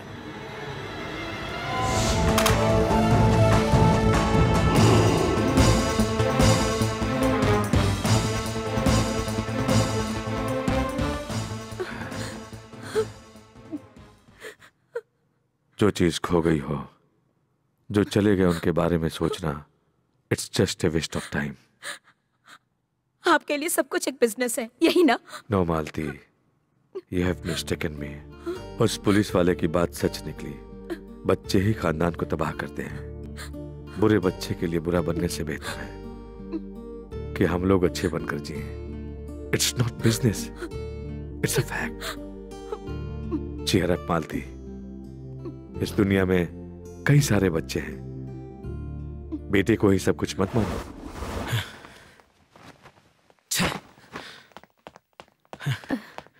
सुनिए जी सुनिए। ओके आप सब जाइए। ओके। कीर्ति के बारे में सबके सामने बात मत करना बोला था ना? क्या बात है? आज सुबह से ही कीर्ति हॉस्टल से गायब है? क्लास में भी नहीं गई। दोस्तों से भी कोई जानकारी नहीं मिली। हेलो? कमिश्नर सर जी मैं रघुनाथ राय। हाँ बोलिए। सर मेरी बेटी कीर्ति नाम है उसका। मिसिंग है सर। हमें तो पता भी नहीं कि आपकी एक बेटी भी है। आ, ये सब मैं बाद में बता दूँगा। मैं अभी पहुँचता हूँ। देखिए अभी मैं एक मीटिंग में हूँ। अपने एरिया के पुलिस स्टेशन जाकर कंप्लेंट लिखवाइए। मैं बात कर लूँगा।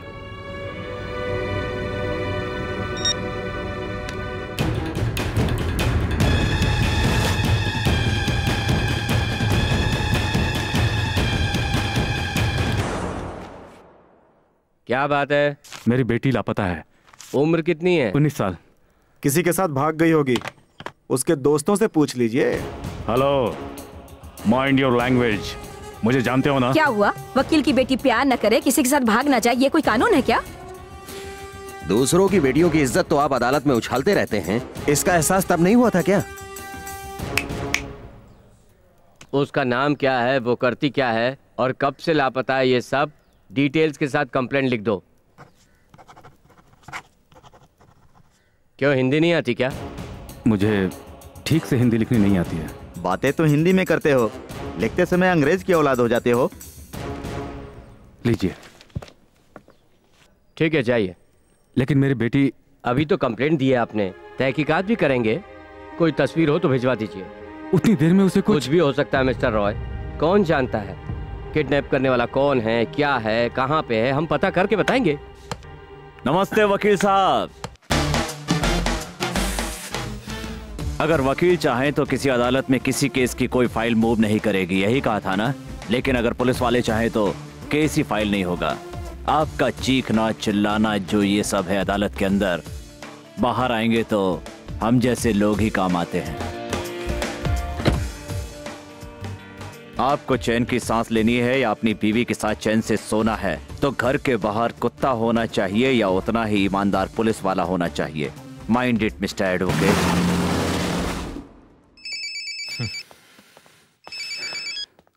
Hello. Manjunath. कौन मंजुनाथ? तेरी बेटी मेरे कब्जे में है। बच्ची को सबसे छुपा के हॉस्टल में रखा था तो सोचा किसी को पता नहीं चलेगा। उस दिन मैंने बोला था तुझे मैं बाहर आया तो तुझे बहुत बड़ी सजा दूँगा। उस जुर्म की सजा मिली जो मैंने किया ही नहीं। और अब तुम्हारी बेटी को सजा मिलेगी। उसकी इज़्ज़त जाएगी या फिर वो अपनी जान से जाएगी। डोंट शाउट क्या चाहते हो? दैट्स अ गुड क्वेश्चन तो एक काम करो। मुझे 25 लाख रुपए दो। तब उसे छोड़ दोगे ना? देखते हैं। मेरा मन पैसों से भरेगा या तेरी बेटी की जवानी से।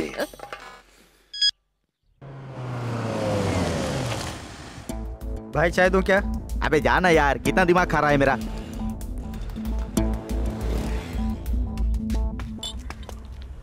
कैसा है रे? ठीक हूँ साहब। ये ले एक चाय पिला। एक खबर है साहब वहाँ उस स्कॉर्पियो में एक लड़की है साहब। राय पैसे कहाँ हैं?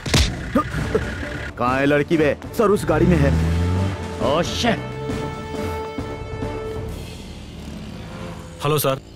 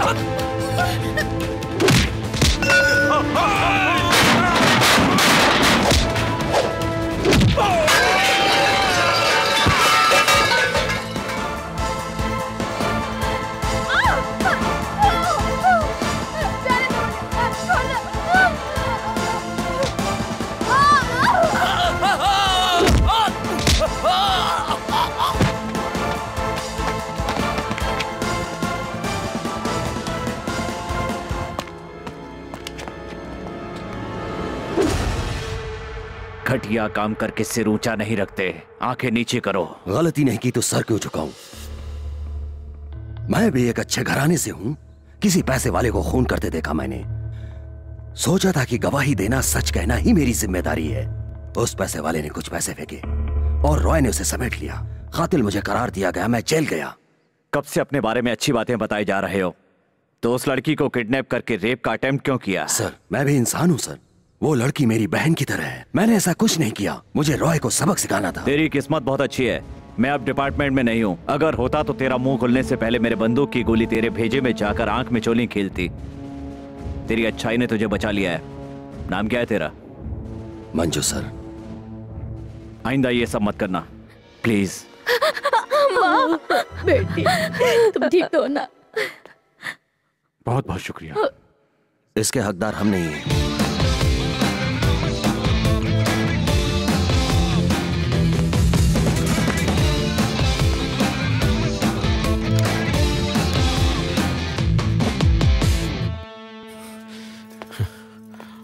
बेटी रेप हुआ होगा आराम से पूछिए वो बताएगी। Mister Shankar Pandey. Yes mister lawyer. क्या हुआ? अदालत में तो आप सारी लड़कियों से रेप कब हुआ कहाँ हुआ कितने बजे हुआ दिन में हुआ रात में कपड़े निकाले थे हाथ कहाँ रखा था वगैरह वगैरह अजीब सवाल पूछते हैं। अपनी बेटी से पूछने के लिए शर्म आ रही है क्या? या जिल्लत हो रही है?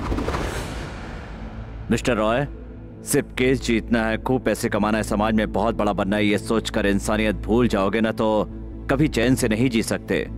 आपको मुजरिमों से तो प्यार है, हमदर्दी है, लेकिन हम जैसे पुलिस वालों से क्यों नहीं है, ये मुझे समझ में नहीं आता। फिर भी एक बात बताता हूँ। आप बोलते हैं कि कोई पुलिस वाला अच्छा नहीं होता, पर उन्होंने साबित कर दिया है कि सब बुरे भी नहीं होते। अच्छाई और अच्छे लोगों को पहचानोगे तो इज़्ज़त भी मिलेगी, पर ये बात आप कभी नहीं समझ पाए। Mister Roy, let's meet in the court.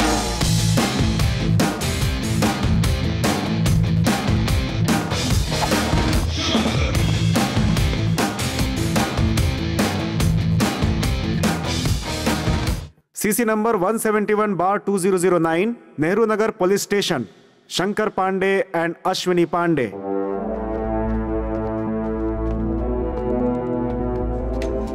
your honour आपकी इजाज़त हो तो कुछ कहना चाहता हूँ। यस प्रोसीड क्राइम हुआ है।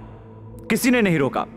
पुलिस डिपार्टमेंट को दोषी ठहराया जाता है। घर में पानी भर जाए तो सुनामी को दोष दोगे क्या?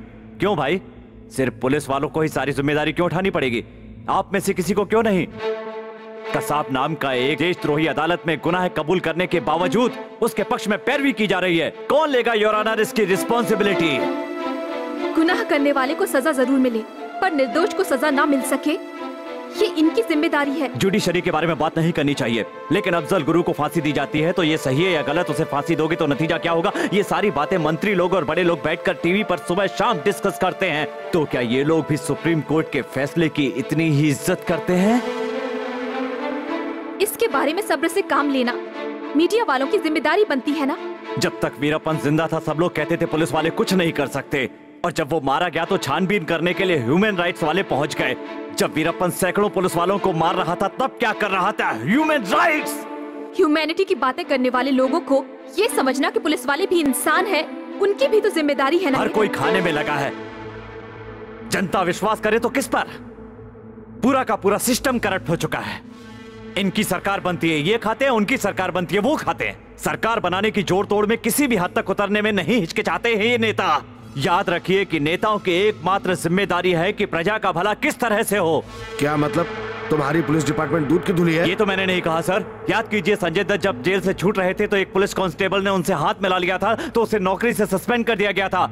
इधर सरकार गिर जाएगी मेजोरिटी नहीं रहेगी ये सोचकर जेल में बंद पॉलिटिशियन को बेल पर बाहर लाया गया। उस दिन कहाँ गई थी लीडर्स रिस्पॉन्सिबिलिटी? ऑफ़ कोर्स मैं नहीं कहूँगा कि पुलिस की गलती नहीं है लेकिन हर बुराई के लिए आप पुलिस को जिम्मेदार नहीं ठहरा सकते। हज़ारों चीज़ों के लिए कानून में बदलाव लाया जाता है, लेकिन सुप्रीम कोर्ट ने बहुत पहले इस एसिड अटैक के खिलाफ सख्त कानून बनाने का आदेश दे दिया था। ये काम कोई नहीं करता। कोई भी सरकार ये काम नहीं कर रही है। क्या यही है सरकार की रिस्पॉन्सिबिलिटी एक इज्जतदार आदमी की इज़्ज़त चली जाती है तो सोचता है कि समाज में कैसे जीऊँगा। वही एक औरत जिसका चेहरा जला दिया गया हो, सोचिए वो किस तरह ज़िंदा रहती है। योर ऑनर, आप ही कोई कानून बनाइए। औरत पर हो रहे अत्याचार को रोकिए। अगर रेप करने वाला दस हज़ार देकर छूट जाता है तो क्या जिसके पास दस हज़ार है ऐसा शख्स रेप कर सकता है? और जिन पर एसिड अटैक हुआ है, केस फ़ाइल करते हैं, ताकि मिलने वाले मुआवजे से ज़िंदगी गुजार सके। वो लड़की जो रकम जीतने वाली थी, उससे कुछ बच्चों की ज़िंदगी सुधारने की चाह रखती थी। पर उसी की ज़िंदगी अब अंधेरे में है। इसकी वजह है कानून। जनता तो ये भी नहीं जानती कि राशन के तराजू में बेईमानी हो तो कहाँ जाए। न्याय के तराजू में अन्याय मिले तो कहाँ जाएँगे? इसीलिए खुलेआम में आज मैं एक सच्चाई को स्वीकार करता हूँ। वकील रॉय साहब ने सच कहा कि मैंने ही ये सारे कत्ल किए हैं। वी आर द कल्प्रिट क्या आप ह्यूमन राइट वाले मदद करेंगे? वैसे हमें किसी की मदद नहीं चाहिए। योर ऑनर आज आप जो भी सजा मुकर्र करेंगे उसे भुगतने के लिए मैं तैयार हूँ। क्यों रघुनाथ रॉय जी? आपको कोई सवाल पूछना है? योर ऑनर आज मैं इस केस से बैकआउट कर रहा हूँ।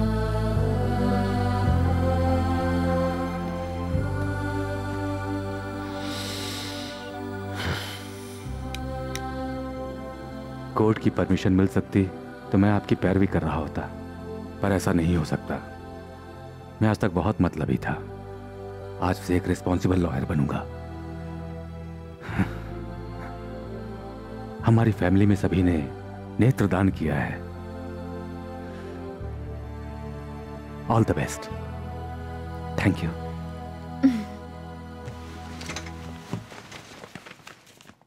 इस केस की अगली तारीख अगले महीने के 19 को मुकर्र की जाती है।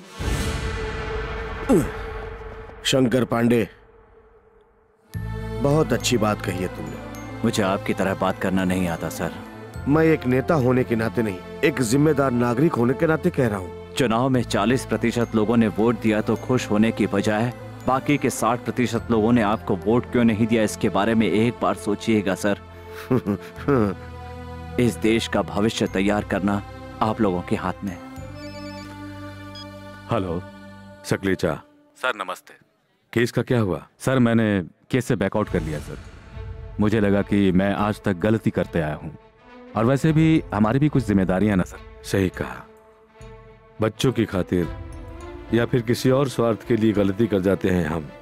लेकिन इन सब के ऊपर एक और भी ज़िम्मेदारी होती है इसे तो हम भूल ही जाते हैं। अब इसे बदलना होगा। बिल्कुल सर।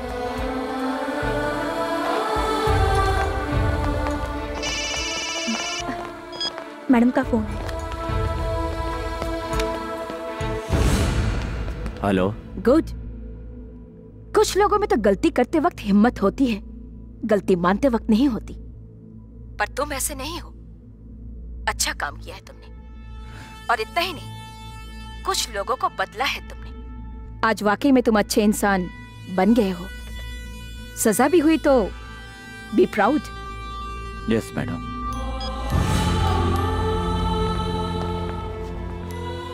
uncle आपने क्या गलती की है? अंकल आपको जेल में डाल देंगे। दीदी कहती है आप अच्छे हैं तो आपको यहाँ क्यों लाया गया है?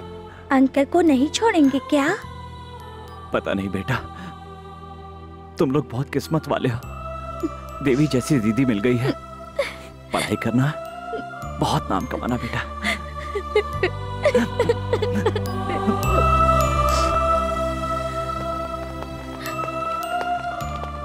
आपकी नज़र में जो सही है वो कानून के नज़र में गलत है ना? बताइए कानून तो एक ढांचा है। उसमें जान डालने के लिए इंसानियत चाहिए। वही मैंने किया है। इसीलिए आप जानवर बन गए। नहीं जानवर को मारने के लिए जानवर बना क्योंकि इंसान ऐसा नहीं कर सकता। मतलब आपने गलती नहीं की है? नहीं जानता। फैसले के बारे में आपका क्या कहना है? प्रजातंत्र में प्रजा का फैसला सबसे बड़ा होता है। उन्होंने चाहा तो छूट जाऊँगा और दिल में बसा के रखा तो महान बन जाऊँगा।